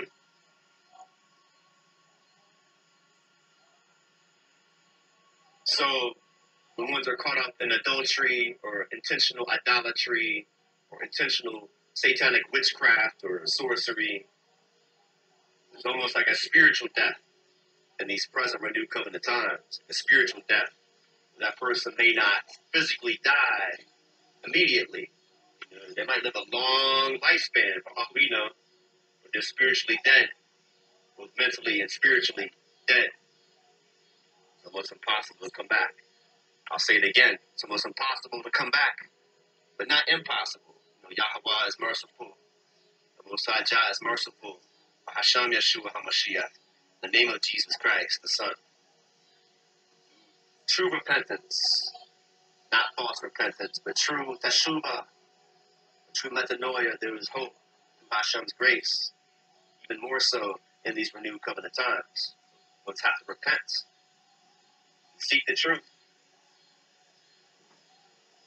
Those of I and I, we must keep the commandments of the Most High and hold the true testimony of Messiah, as it is written in Revelation, chapter 12, verse 17.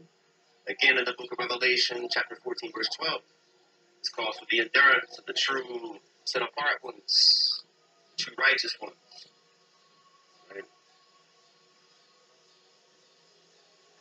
Yes. So purge the evil from your midst. Verse 6 Once again, with your brother, the son of your mother, the son of your daughter, the wife of your bosom, or your friend, who is your own being, entices you secretly and says, Let us go and serve other mighty ones, which you have not known, neither you nor your fathers. Verse 7 Of the mighty ones, these so called mighty ones, these false gods of the people, which are all around you, near to you, or far off from you, from one end of the earth, the other end of the earth verse 8 do not agree with him or her, or listen to him or her, nor shall your eye pardon him or her, nor spare him or conceal him. Let's let them know the priesthood, the tabernacle. This is amongst fellow Israelites, because amongst the kingdom of Israel, you know, true ethnic and spiritual Israel in these old covenant times, you could not have somebody who's dabbling with the knowledge of Torah as a Hebrew Israelite ethnically or spiritually or religiously and try to mix that in with satanic sorcery and idol worship and witchcraft, that's blasphemy. It's like a plague. Look at today's present renewed covenant times in Messiah. At the modern day commercialized Christian world, not the true Christian world. I'm not making any blanket statements or general statements at all. Not commercial Christianity and these televangelists talking about their reading from the Bible, mention a few verses here and there and mix it in. You know, they want to mention a few verses and mix that in with palm reading and tarot cards and witchcraft. Have to be careful. And mind you, there's a major contrast or a major difference in astronomy as opposed to astrology. Astrology is like a manipulation even basic manipulation is a type of witchcraft when it comes down to it. So we live in a wicked Babylonian system, no matter what country or state, city or town, or wherever we live, no matter what continents, this world's decorum, you know, is all over. Every corrupt government in the far ends of the earth is illegal, like the great musical prophet and messenger Bob Marley said. So digest that today. Many so-called traditions of man through commercialism, they throw in our faces through everyday society, even our next door neighbors and people across the street, people that we work with. Right? This is where we have to utilize righteous liberty and spiritual Tai Chi through God's grace people with Hashem's grace in these renewed covenant times through Christ. Of the mighty ones of the people which are all around you, near to you far off from you, one end of the earth, the other end of the earth. Verse 8 Do not agree with him or listen to him, nor shall your eye at him, or spare him or conceal him. Verse 9 But you shall certainly kill him. Your hand is first against him to put him to death, and afterward the hand of all the people. Verse 10 And you shall stone him with stones until he dies, because he sought to entice you away from Hashem, the ways of the name Yahweh, your Elohim, who brought you out of the land of Mitzrayim, out of the land of Egypt, from the house of bondage. So, yeah, it is the Most High Yahweh, Jehovah, the Most High Jah, as our true Heavenly Father, as our Elohim that has redeemed us. The basic good news gospel, the Brit Hadashah, as we should say in the Hebrew, the renewed covenant. He's redeemed us through Yeshua HaMashiach, aka Jesus Christ. Hallelujah. Praise ye Jah every time with joy.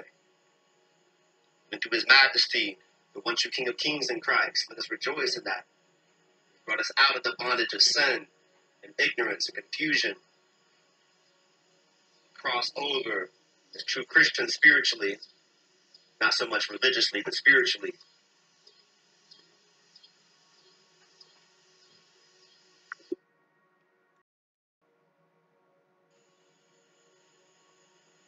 Yes.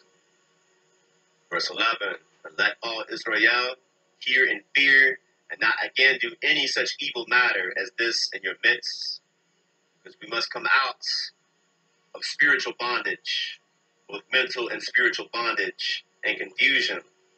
Repatriation begins with the heart and the mind. These renewed covenant times do more of a spiritual based renewed covenant through Christ. Verse 11.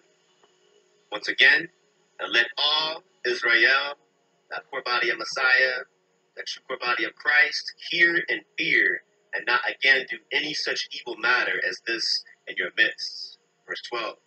When you hear someone in one of your cities, which Hashem, your Elohim, gives you to dwell in, saying, Verse 13.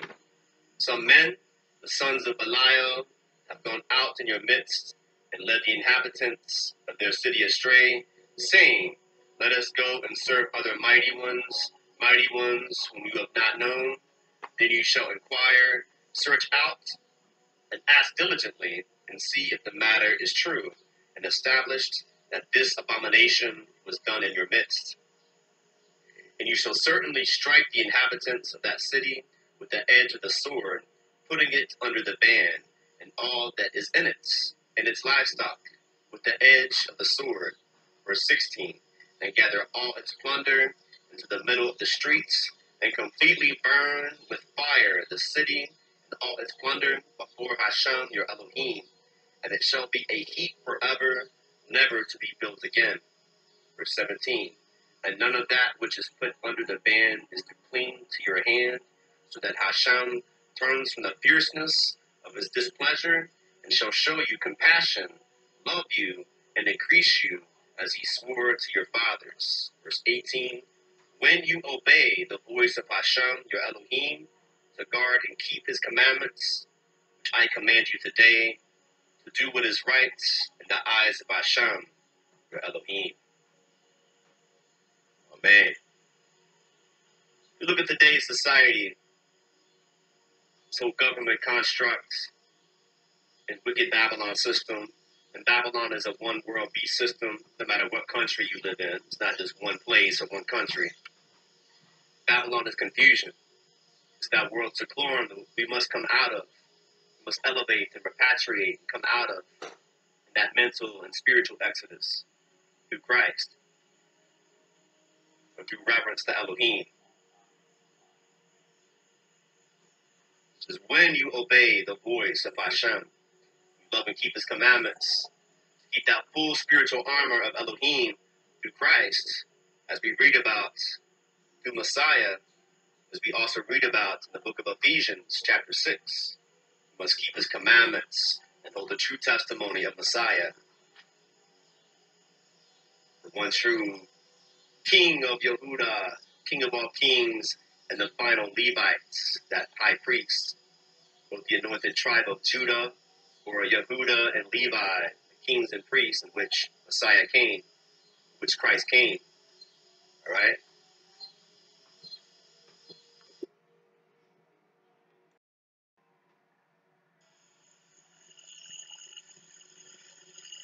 Chapter 14, verse 1. You are the children of Hashem, your Elohim. Do not cut yourselves, nor shave the front of your head for the dead. Pause for the cause.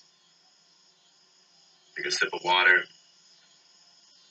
Um, this is regarding traditions in ancient Mitzrayim or Egypt and dealing with idol worship, not the original ancient Kemites or early Egyptians.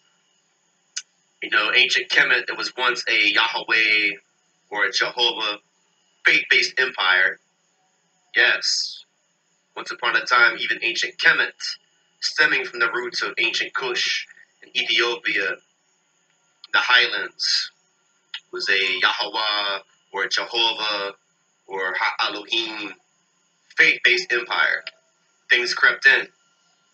Idol worship, false gods, mixing false gods with the one true living God. Think about that today in this whole spiritual Egypt. Those who live in America, just look at the one dollar bill, the one eyed pyramid. Yes, the one eyed pyramid on the back of your one dollar bills.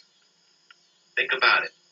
How was this nation built of slave trade, the work of slaves and cotton money? Rebuild this Babylonian spiritual Egypt within these last of last days. Think about it.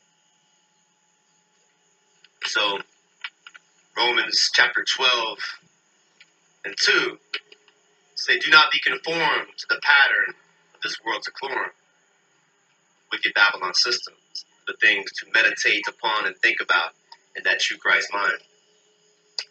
Um, anyways,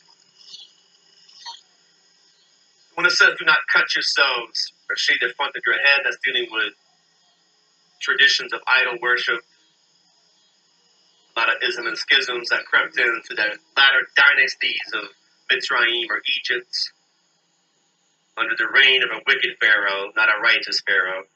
All these things we have to keep in mind through basic reading comprehension. Salika. You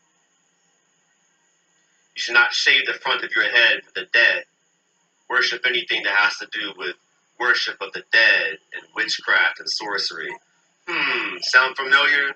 Within certain you know, mainstream holidays and folly days of, of Babylon system throughout the fall season and winter seasons. Mm-hmm. I'm going to stop right there because if I keep going, I might offend somebody. And I would rather somebody put in their own personal time to think, to meditate, pray about these things, and do their own research. So I'll leave it at that. Verse 2 For you are a set apart people to Hashem, your Elohim, the Lord your God, and Hashem has chosen you to be a people for himself, a treasured possession above all the peoples who are on the face of the earth. Pause the cause one more time. Again, how many people know through Messiah, even more so through Christ, in these renewed covenant times, that we're called to be set apart? We're set apart people. Verse 3 Do not eat whatever is abominable.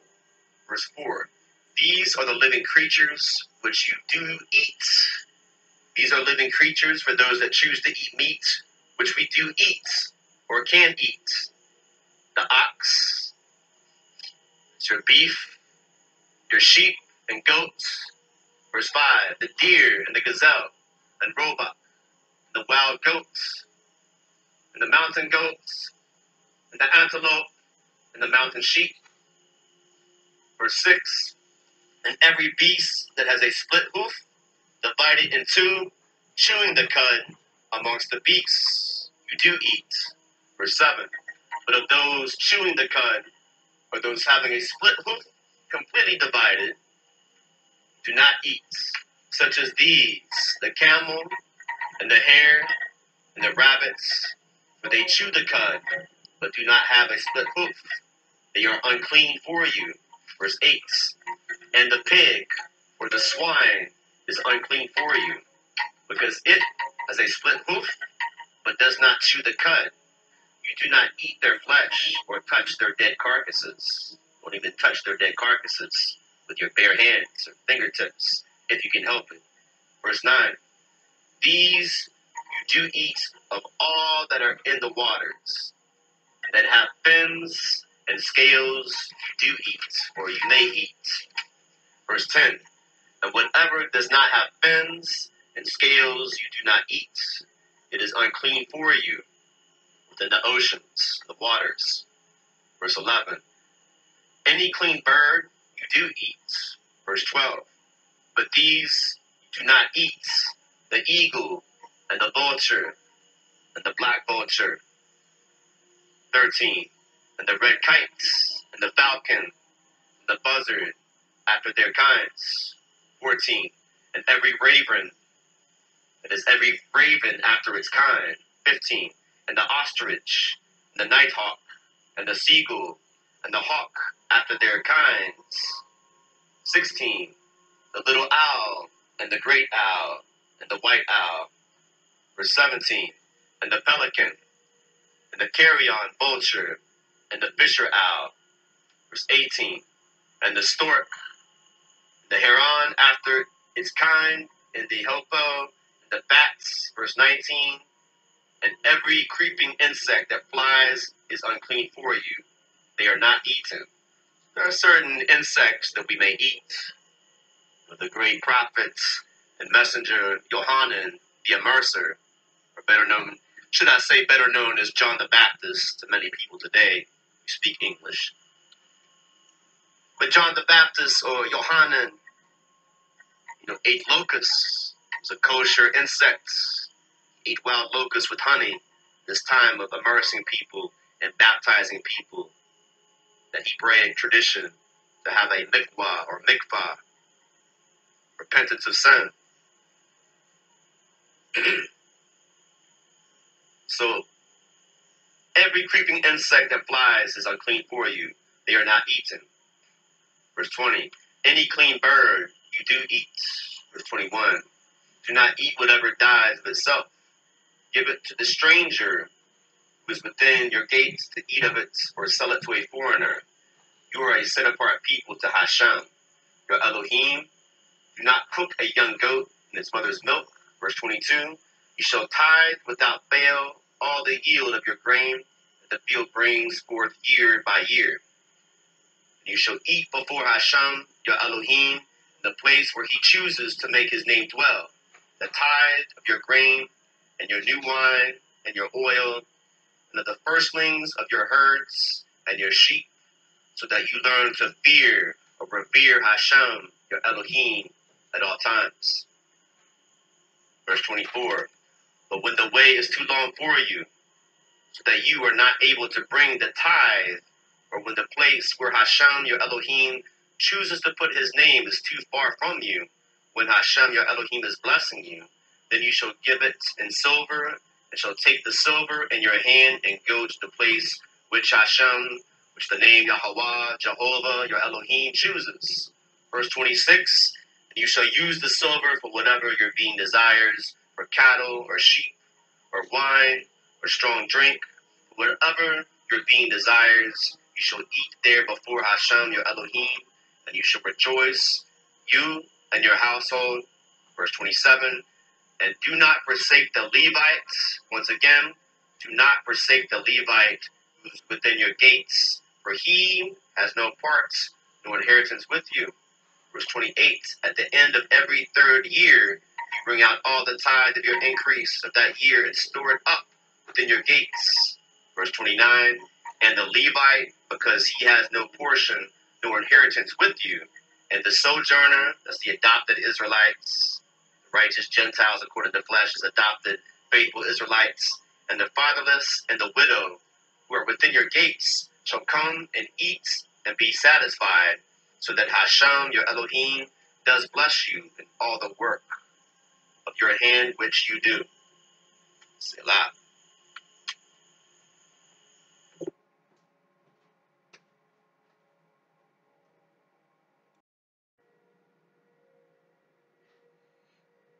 All right, mind you, before we proceed onto chapter 15, let us reflect on the previous verses and scriptures in chapter 14, in which we just read regarding the basic food laws.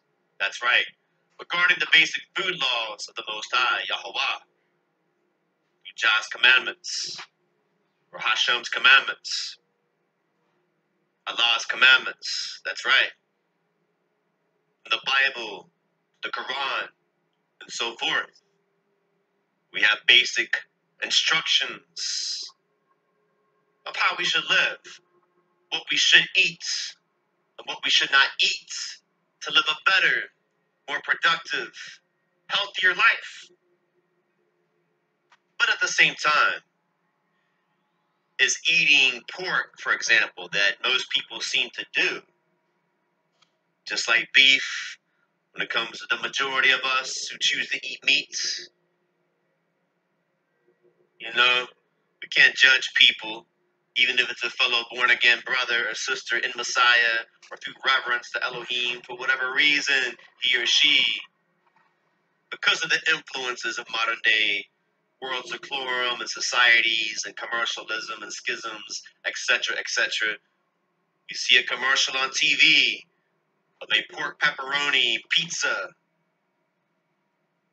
The average picture that jumps up in our heads when we think about pizza is a pepperoni pizza. And yes, I've had my share of chicken or turkey pepperoni pizza. It's not bad. For those that choose to eat meat, it's better to keep it kosher. Other types say ital is vital, much love and respect for those who or the higher discipline of a more strict vegan diet, a healthier liberty, all due respect, but for those that choose to eat meat, to get the proper protein in their physical bodies and their vessels, or divine temples, the Most High says, the Most High Jah says in His Word, His truth, of certain meats that we can and cannot eat, or should or should not eat. And with all that being said, I'm not judging anybody who happens to eat pork or eat shellfish or crustaceans. That's your crabs and lobsters and shrimp. Because I grew up with all that, just like most of you. The Apostle Paul, or Rabbi Shaul, in his original Hebrew name, teaches about liberty. And his teachings, through his writings, many of the Christian church, or the majority of more mainstream Gentile Christian churches, say the letters of the Apostle Paul. All due respect, it is the writings and documents of the great Rabbi Shaul and the great apostle teaches us about righteous liberty. Don't judge somebody else. Most of my so called friends, and a lot of my actual friends and acquaintances, still eat pork. I don't judge them. Me and my lady, you know, we try to keep things out of the house that are not 100% kosher. Sometimes things creep in. I don't eat pork to speak for myself, I don't eat pork. I don't eat shellfish and crab legs or lobsters or anything like that. But you know, uh, my lady doesn't usually eat pork, but sometimes she might make accommodations, and you go over to somebody's houses, and they got the ham on the dinner table, and you know, my lady sometimes will cater to that. Whether it's really the right thing to do or not, don't judge other people. What I'm saying is, it's not so much a salvational issue alone if it's within the oneness of Christ or Hamashiach. You see, at the same time, we should not lean too far right and keep ourselves back or hold ourselves back from growing in grace through Christ or through Messiah as we should. We have to grow in grace, but at the same time, we must and should grow in grace. Does that make any sense? So, you know, it's not a salvational issue of ones are born again and repentant to the basic good news gospel through Jesus Christ, through Yeshua, we're born again. We're saved by grace, the atonement, the precious blood of the covenant, by Hashem Yeshua, the name of Jesus Christ the Son. Hallelujah. Praise Jah. Every time. But are there consequences for eating certain foods that doesn't really make our body tick? Same analogy of what I made earlier about eating the roadkill of a dead crocodile or alligator on the side of the road. Reptile is not kosher. We just read in the scriptures, in this Torah, what is kosher and what is not kosher, what is clean or what is not clean according to meats, certain animals. All right?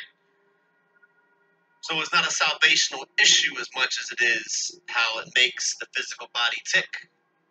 Our Heavenly Father, the Most High, our wonderful Creator, knows what makes our bodies tick. So He says if you choose to eat meat, that's fine. Eat your beef. Stick with the chicken and beef and fish, kosher fish with scales and fins, not crustaceans. Very simple. However, Will a pork chop save your life if you're starving to death? Yes, yes. We got to put things in perspective. So don't be over legalistic or judgmental when you come to the basic revelation about not eating pork or to eat pork or to eat. You know, I'm not here to be a legalist. A lot of my fellow brethren in Christ, and even an intriguing, very interesting conversation and reasoning I had, even a fellow Rasta brethren also happened to be a, a dreadlock Rasta brethren was talking about that. Um, different dimensions of Rastafari on that level, and you know, you might be one that partake in certain meats that may not be kosher. When other Rastas don't even eat meat, say, "Oh, we burn out the debtors, and we don't want to be legalistic or pharisaical either." So we must reprove ourselves as it says in 2 Timothy 2 and 15. Discipline ourselves, take the time to meditate, study, show ourselves approved. in our own personal relationship with the Most High in Christ Yeshua. Our own relationship with the Father through Yeshua HaMashiach, through Jesus Christ, through His majesty in Christ, should refine us in due time as we grow in grace. I'll leave it at that. Right? Don't think that I'm judging people or I think that I'm holier than thou or so called self righteous or another Mr. Know It All because I'm saying that I don't eat pork, that I rightfully don't eat pork. I'm only trying to be reverent to my Father's will and His commandments. especially in Christ. See the dispensationalism and schisms and these little additives do not add or take away. They add in the gospel according to Mark, St. Mark, whose Hebrew name is Marcus, but they added Mark chapter 7, the little parentheses that say, Thus he made all foods clean, when Yeshua or Jesus wasn't even talking about that. You know, Jesus or Isa, aka Yeshua, wasn't even talking about, you know, the pork or all, you know, unclean foods. He never made that clean. The Father and the Son are one, right? No, he said, do not think because my disciples, my talmidim or my taught ones, are not washing their hands before a meal as one of your customs. You know, it's not what goes into the mouth, but comes from the heart. He's not talking about eating pork. He didn't say it was okay to eat pork or crustaceans. But with that being said, I encourage ones to pray about these things, do their own research. I'm not coming across as a self righteous person. I grew up eating pork and shellfish and shrimp, just like anybody else, celebrating the holidays and dotting my I's and crossing my T's. I'm not judging. I'm not seeing that salvational issues. Because with most people, it's not. However, at the same time, to, to whom what is given, much more is required and held more accountable as we grow in grace. If we should grow in grace and get closer to our Heavenly Father in Messiah, especially through Christ, we must put things in perspective. So let's move on to chapter 15, verse 1. At the end of every seven years, you make a release of debts. Verse 2. And this is the word of the release. Every creditor is to release what he has loaned to his neighbor. He does not require it of his neighbor or his brother, because it is called the release of Hashem, release of the Lord Yahweh, Jehovah. Verse 3 Of a foreigner, you could require it, but your hand is to release whatever is owed by your brother. Verse 4 Only there should be no poor amongst you, for Hashem does greatly bless you in the land which Hashem, your Elohim, is giving you to possess as an inheritance. So the laws and commandments of Torah eliminates extreme poverty in their own community, in their own kingdom, in their own land. But do you see that in America? As much so called money and technology and all these lovely things that we have, all these so called delicacies, then you have so much poverty, so much debt. The American government and daughter Babylon is in so much debt. There's so many rich people and spoiled people, yet dirt poor people and poverty and homeless people walking the streets right here in my hometown, and right here in this area of the village where I live, in the Grandin Village of Roanoke City. So, verse 5. Only if you diligently obey the voice of Hashem, that is the voice of the name Yahweh, your Elohim, to guard to do all these commandments which I am commanding you today. You have a choice to choose his ways, to choose Yahweh or Yahweh, to choose righteousness, to choose obedience, to choose life and not death. Must choose life over death. Verse 6 For Hashem your Elohim shall bless you as he promised you, and you shall lend to many nations, but you shall not borrow bless us with that much spiritual and financial prosperity if it is His will. Salika, Most High Jah says, You shall lend to many nations, but you shall not borrow. You shall rule over many nations, but they do not rule over you. Verse 7 When there is a poor man with you, one of your brothers within any of the gates in your land which Hashem your Elohim has given you, do not harden your hearts, nor shut your hand from your poor brethren. Verse 8 For you shall certainly open your hand to him or her, and certainly lend him or her enough for his or her need, whatever he or she needs. Verse 9 Be on guard lest there be a thought of Belial in your hearts, that betrayal or idol worship in your heart, saying, The seventh year, the year of release is near, your eye is evil against your poor brother, and you give him not. Caught up in that spirit of greed and selfishness. And he shall cry out to Hashem against you, and it shall be a sin in you. Verse 10 You shall certainly give to him, and your heart should not be grieved when you give to him. Because for this reason, Hashem, your Elohim, the Lord Yahweh, Jehovah, your God, does bless you in all your works and in all to which you put your hands. Verse 11 Because the poor one does not cease from the land, therefore I am commanding you, saying, You shall certainly open your hand to your brother, to your poor, and to your needy one in your land. Verse 12 When your brother is sold to you, a Hebrew man or a Hebrew woman is a servant or employee and shall serve you six years, not the same slavery that the people of Israel themselves or the Israelites themselves were in Egypt, talking about servitude through people that have their own business, employment, even we see today in Babylon system. It says, when your brother is sold to you, a Hebrew man or a fellow Hebrew woman, and shall serve you six years, then let him or her go free from you in the seventh year. Once again, the ultimate divine number of seven, Elohim, Almighty God in perfection, completion. It's the Jubilee, Yobel. 13th, and when you send him away free from you, let him not go away empty handed. Verse 14, you shall richly supply him from your flock and from your uh, threshing floor, Salika. You shall richly supply him from your flock, and from your threshing floor, and from your winepress, with that which Hashem has blessed you with, give to him. And you shall remember that you were a slave in the land of Mitzrayim, that is a slave in the land of Egypt, and Hashem, your Elohim, ransomed you. Therefore, I, I am Ahaya, Yahweh, commanding this word to you today. Verse 16. And it shall be when he says to you, I do not go away from you, because he loves you and your house, because it is good for him with you.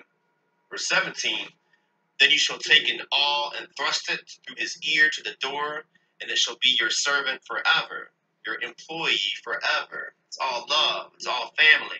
They're all faithful Israelites, one kingdom on earth.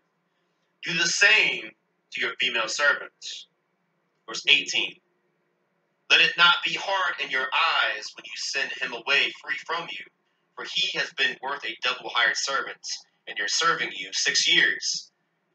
And Hashem, your Elohim, shall bless you in all that you do. Verse 19 Set apart to Hashem, your Elohim, all the firstborn males that come from your herd and your flock. Do no work with the firstborn of your herd, nor shear the firstborn of your flock amongst the animals and livestock in your midst. Now, if you don't happen to have livestock like most of us don't, in these renewed covenant times of today's society and technology, etc., etc., if you live on the grid in the city like I do, this does not apply to you. So, whatever does not apply to you is not a commandment you have to keep. Basic reading comprehension for those that try to throw in that dispensationalism and it's funny because they accuse us, many of I and I and ones like myself, as being legalists, when in actuality they're the ones being legalists and hypocrites.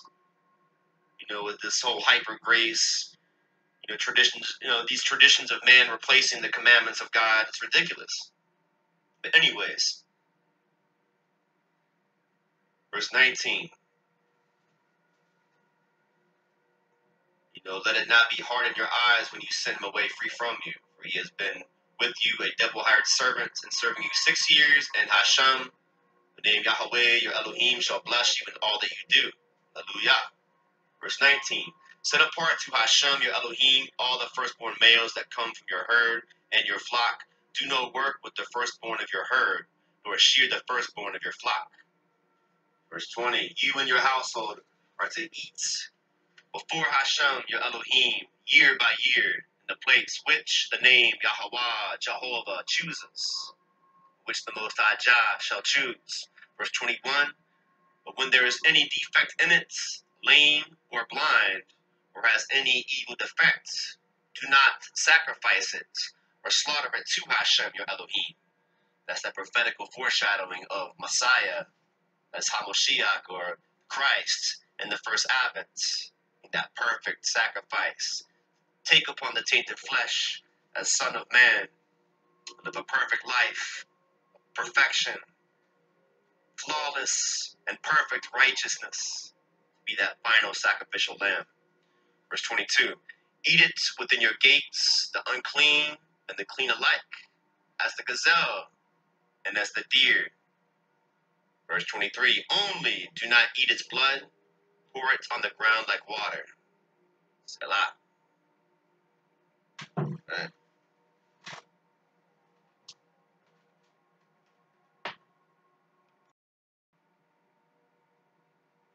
Right.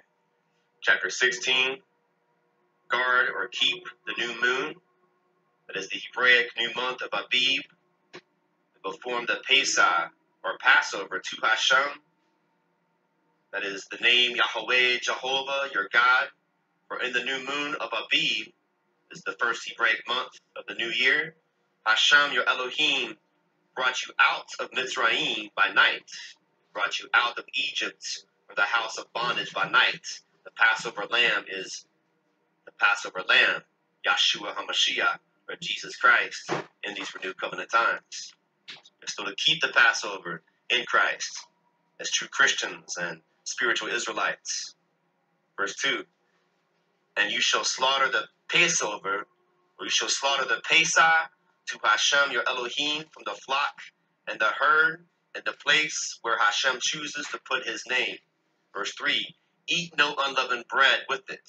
For seven days you eat unleavened bread with it, bread of affliction, that is the matzah, because you came out of the land of Mitzrayim in haste, so that you remember the day in which you came out of the land of Mitzrayim, out of the land of bondage, all the days of your life. Verse 4 And no leaven should be seen with you in all your border for seven days, by number of seven. Neither should any of the meats which you slaughter in the evening on the first day stay all night until morning you are not allowed to slaughter the Pesach or Passover within any of your gates which Hashem, your Elohim, gives you.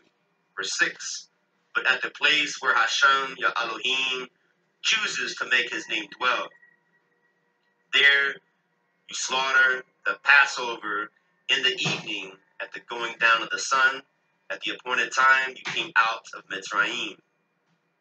Now, for New Covenant times, the point you became born again, humbled yourself, received the basic good news gospel of Yeshua HaMashiach, the new covenant and good news of Yahushua HaMashiach, aka Jesus Christ, the Son. Come out of that mental bondage, that spiritual bondage of sin.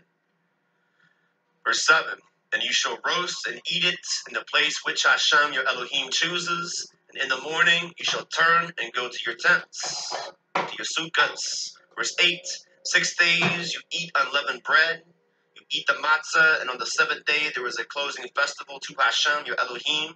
You do no work. It's the first and seventh day. So commandments, not options. Once we get to that point of growing in grace, there's no rush. I mean, don't take too much time and be slothful about it. Stay stuck in the same spiritual place as a so-called fellow believer or Christian, you know, 10 to 20 years from now. Grow in grace, but grow in grace that makes any sense. All right? Count seven weeks, that's seven Shavuos for yourself. Begin to count seven weeks from the time you begin to put the sickle to the grain. And yes, the sacrifice of the Passover lamb is Yeshua, is Jesus Christ of Messiah in the first advent. Only 2,000 years ago, you don't have to sacrifice a lamb. You can eat lamb at your Passover meal if you choose to but I would not suggest sacrificing an actual lamb. There's no need for animal sacrifices That would be blasphemy in today's renewed covenant times. There is no temple. The temple is the body through Christ, the body of Messiah. Right? So, the appointed place, if you have a place of assembly amongst fellow commandment keeping, born again believers in Christ or in believers in Yeshua, you know, come together and worship and fellowship, then go there. If the Ruach HaKodesh or that same Holy Spirit tells you, yeah, go there to celebrate Passover with them, then go. That's the appointed place in your heart that Yahweh, the Father, or the Most High Jah is prompting your heart through Messiah and through the Holy Spirit to go. But oftentimes it could be at your home. The Most High might say, for the next two to five years, I want you to have Passover in your own home and invite other fellow believers, you know, even fellow born again believers in the basic good news gospel as modern day Christians over to learn about Passover. And so the Passover lamb is Yeshua, or what most people call Jesus Christ. Don't get it twisted. However, are we still to keep and acknowledge Passover? Yes.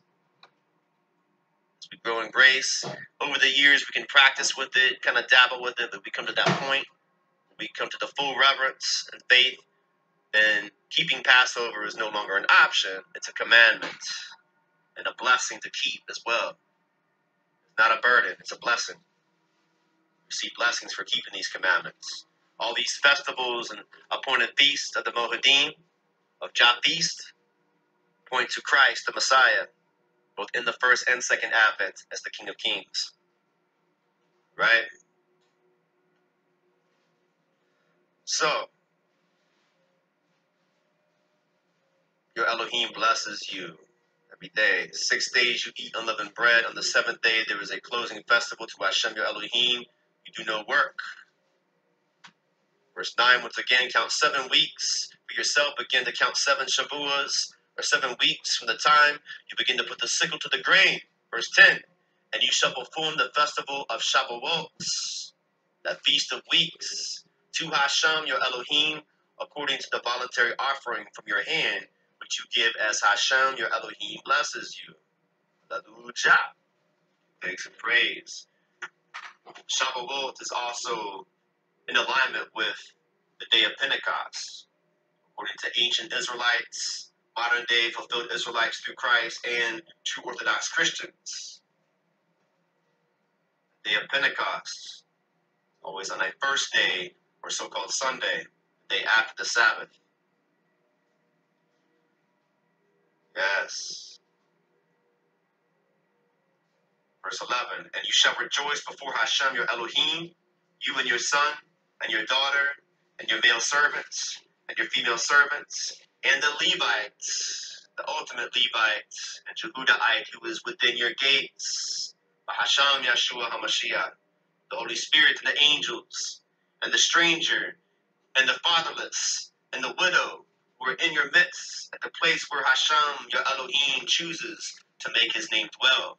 Verse 12, Then you shall remember that you were a slave in Mitzrayim, an actual slave in Egypt, you shall guard to all these laws. Verse 13 Perform the festival of Sukkot, this is the Feast of Tabernacles, for seven days after the ingathering from your threshing floor and from your wine press. Verse 14 And you shall rejoice in your festival, you and your son and your daughter and your male servants and your female servants and the Levites and the stranger and their fatherless and the widow who are within your gates. Verse 15 For seven days you shall celebrate to Hashem, celebration to the name Yahweh, Jehovah, your Elohim, in the place which Hashem chooses, because Hashem, your Elohim, does bless you and all your increase and all the work of your hands, and you shall be only rejoicing. Three times a year all your males appear before Hashem, your Elohim, in the place which he chooses at the festival of Matzah, feast of unleavened bread, and at the festival of Shavuot, and at the festival of Sukkot. And none should appear before Hashem empty handed. Selah, foreshadowing the future of Jah Kingdom, the calling of Jah Kingdom. Amen.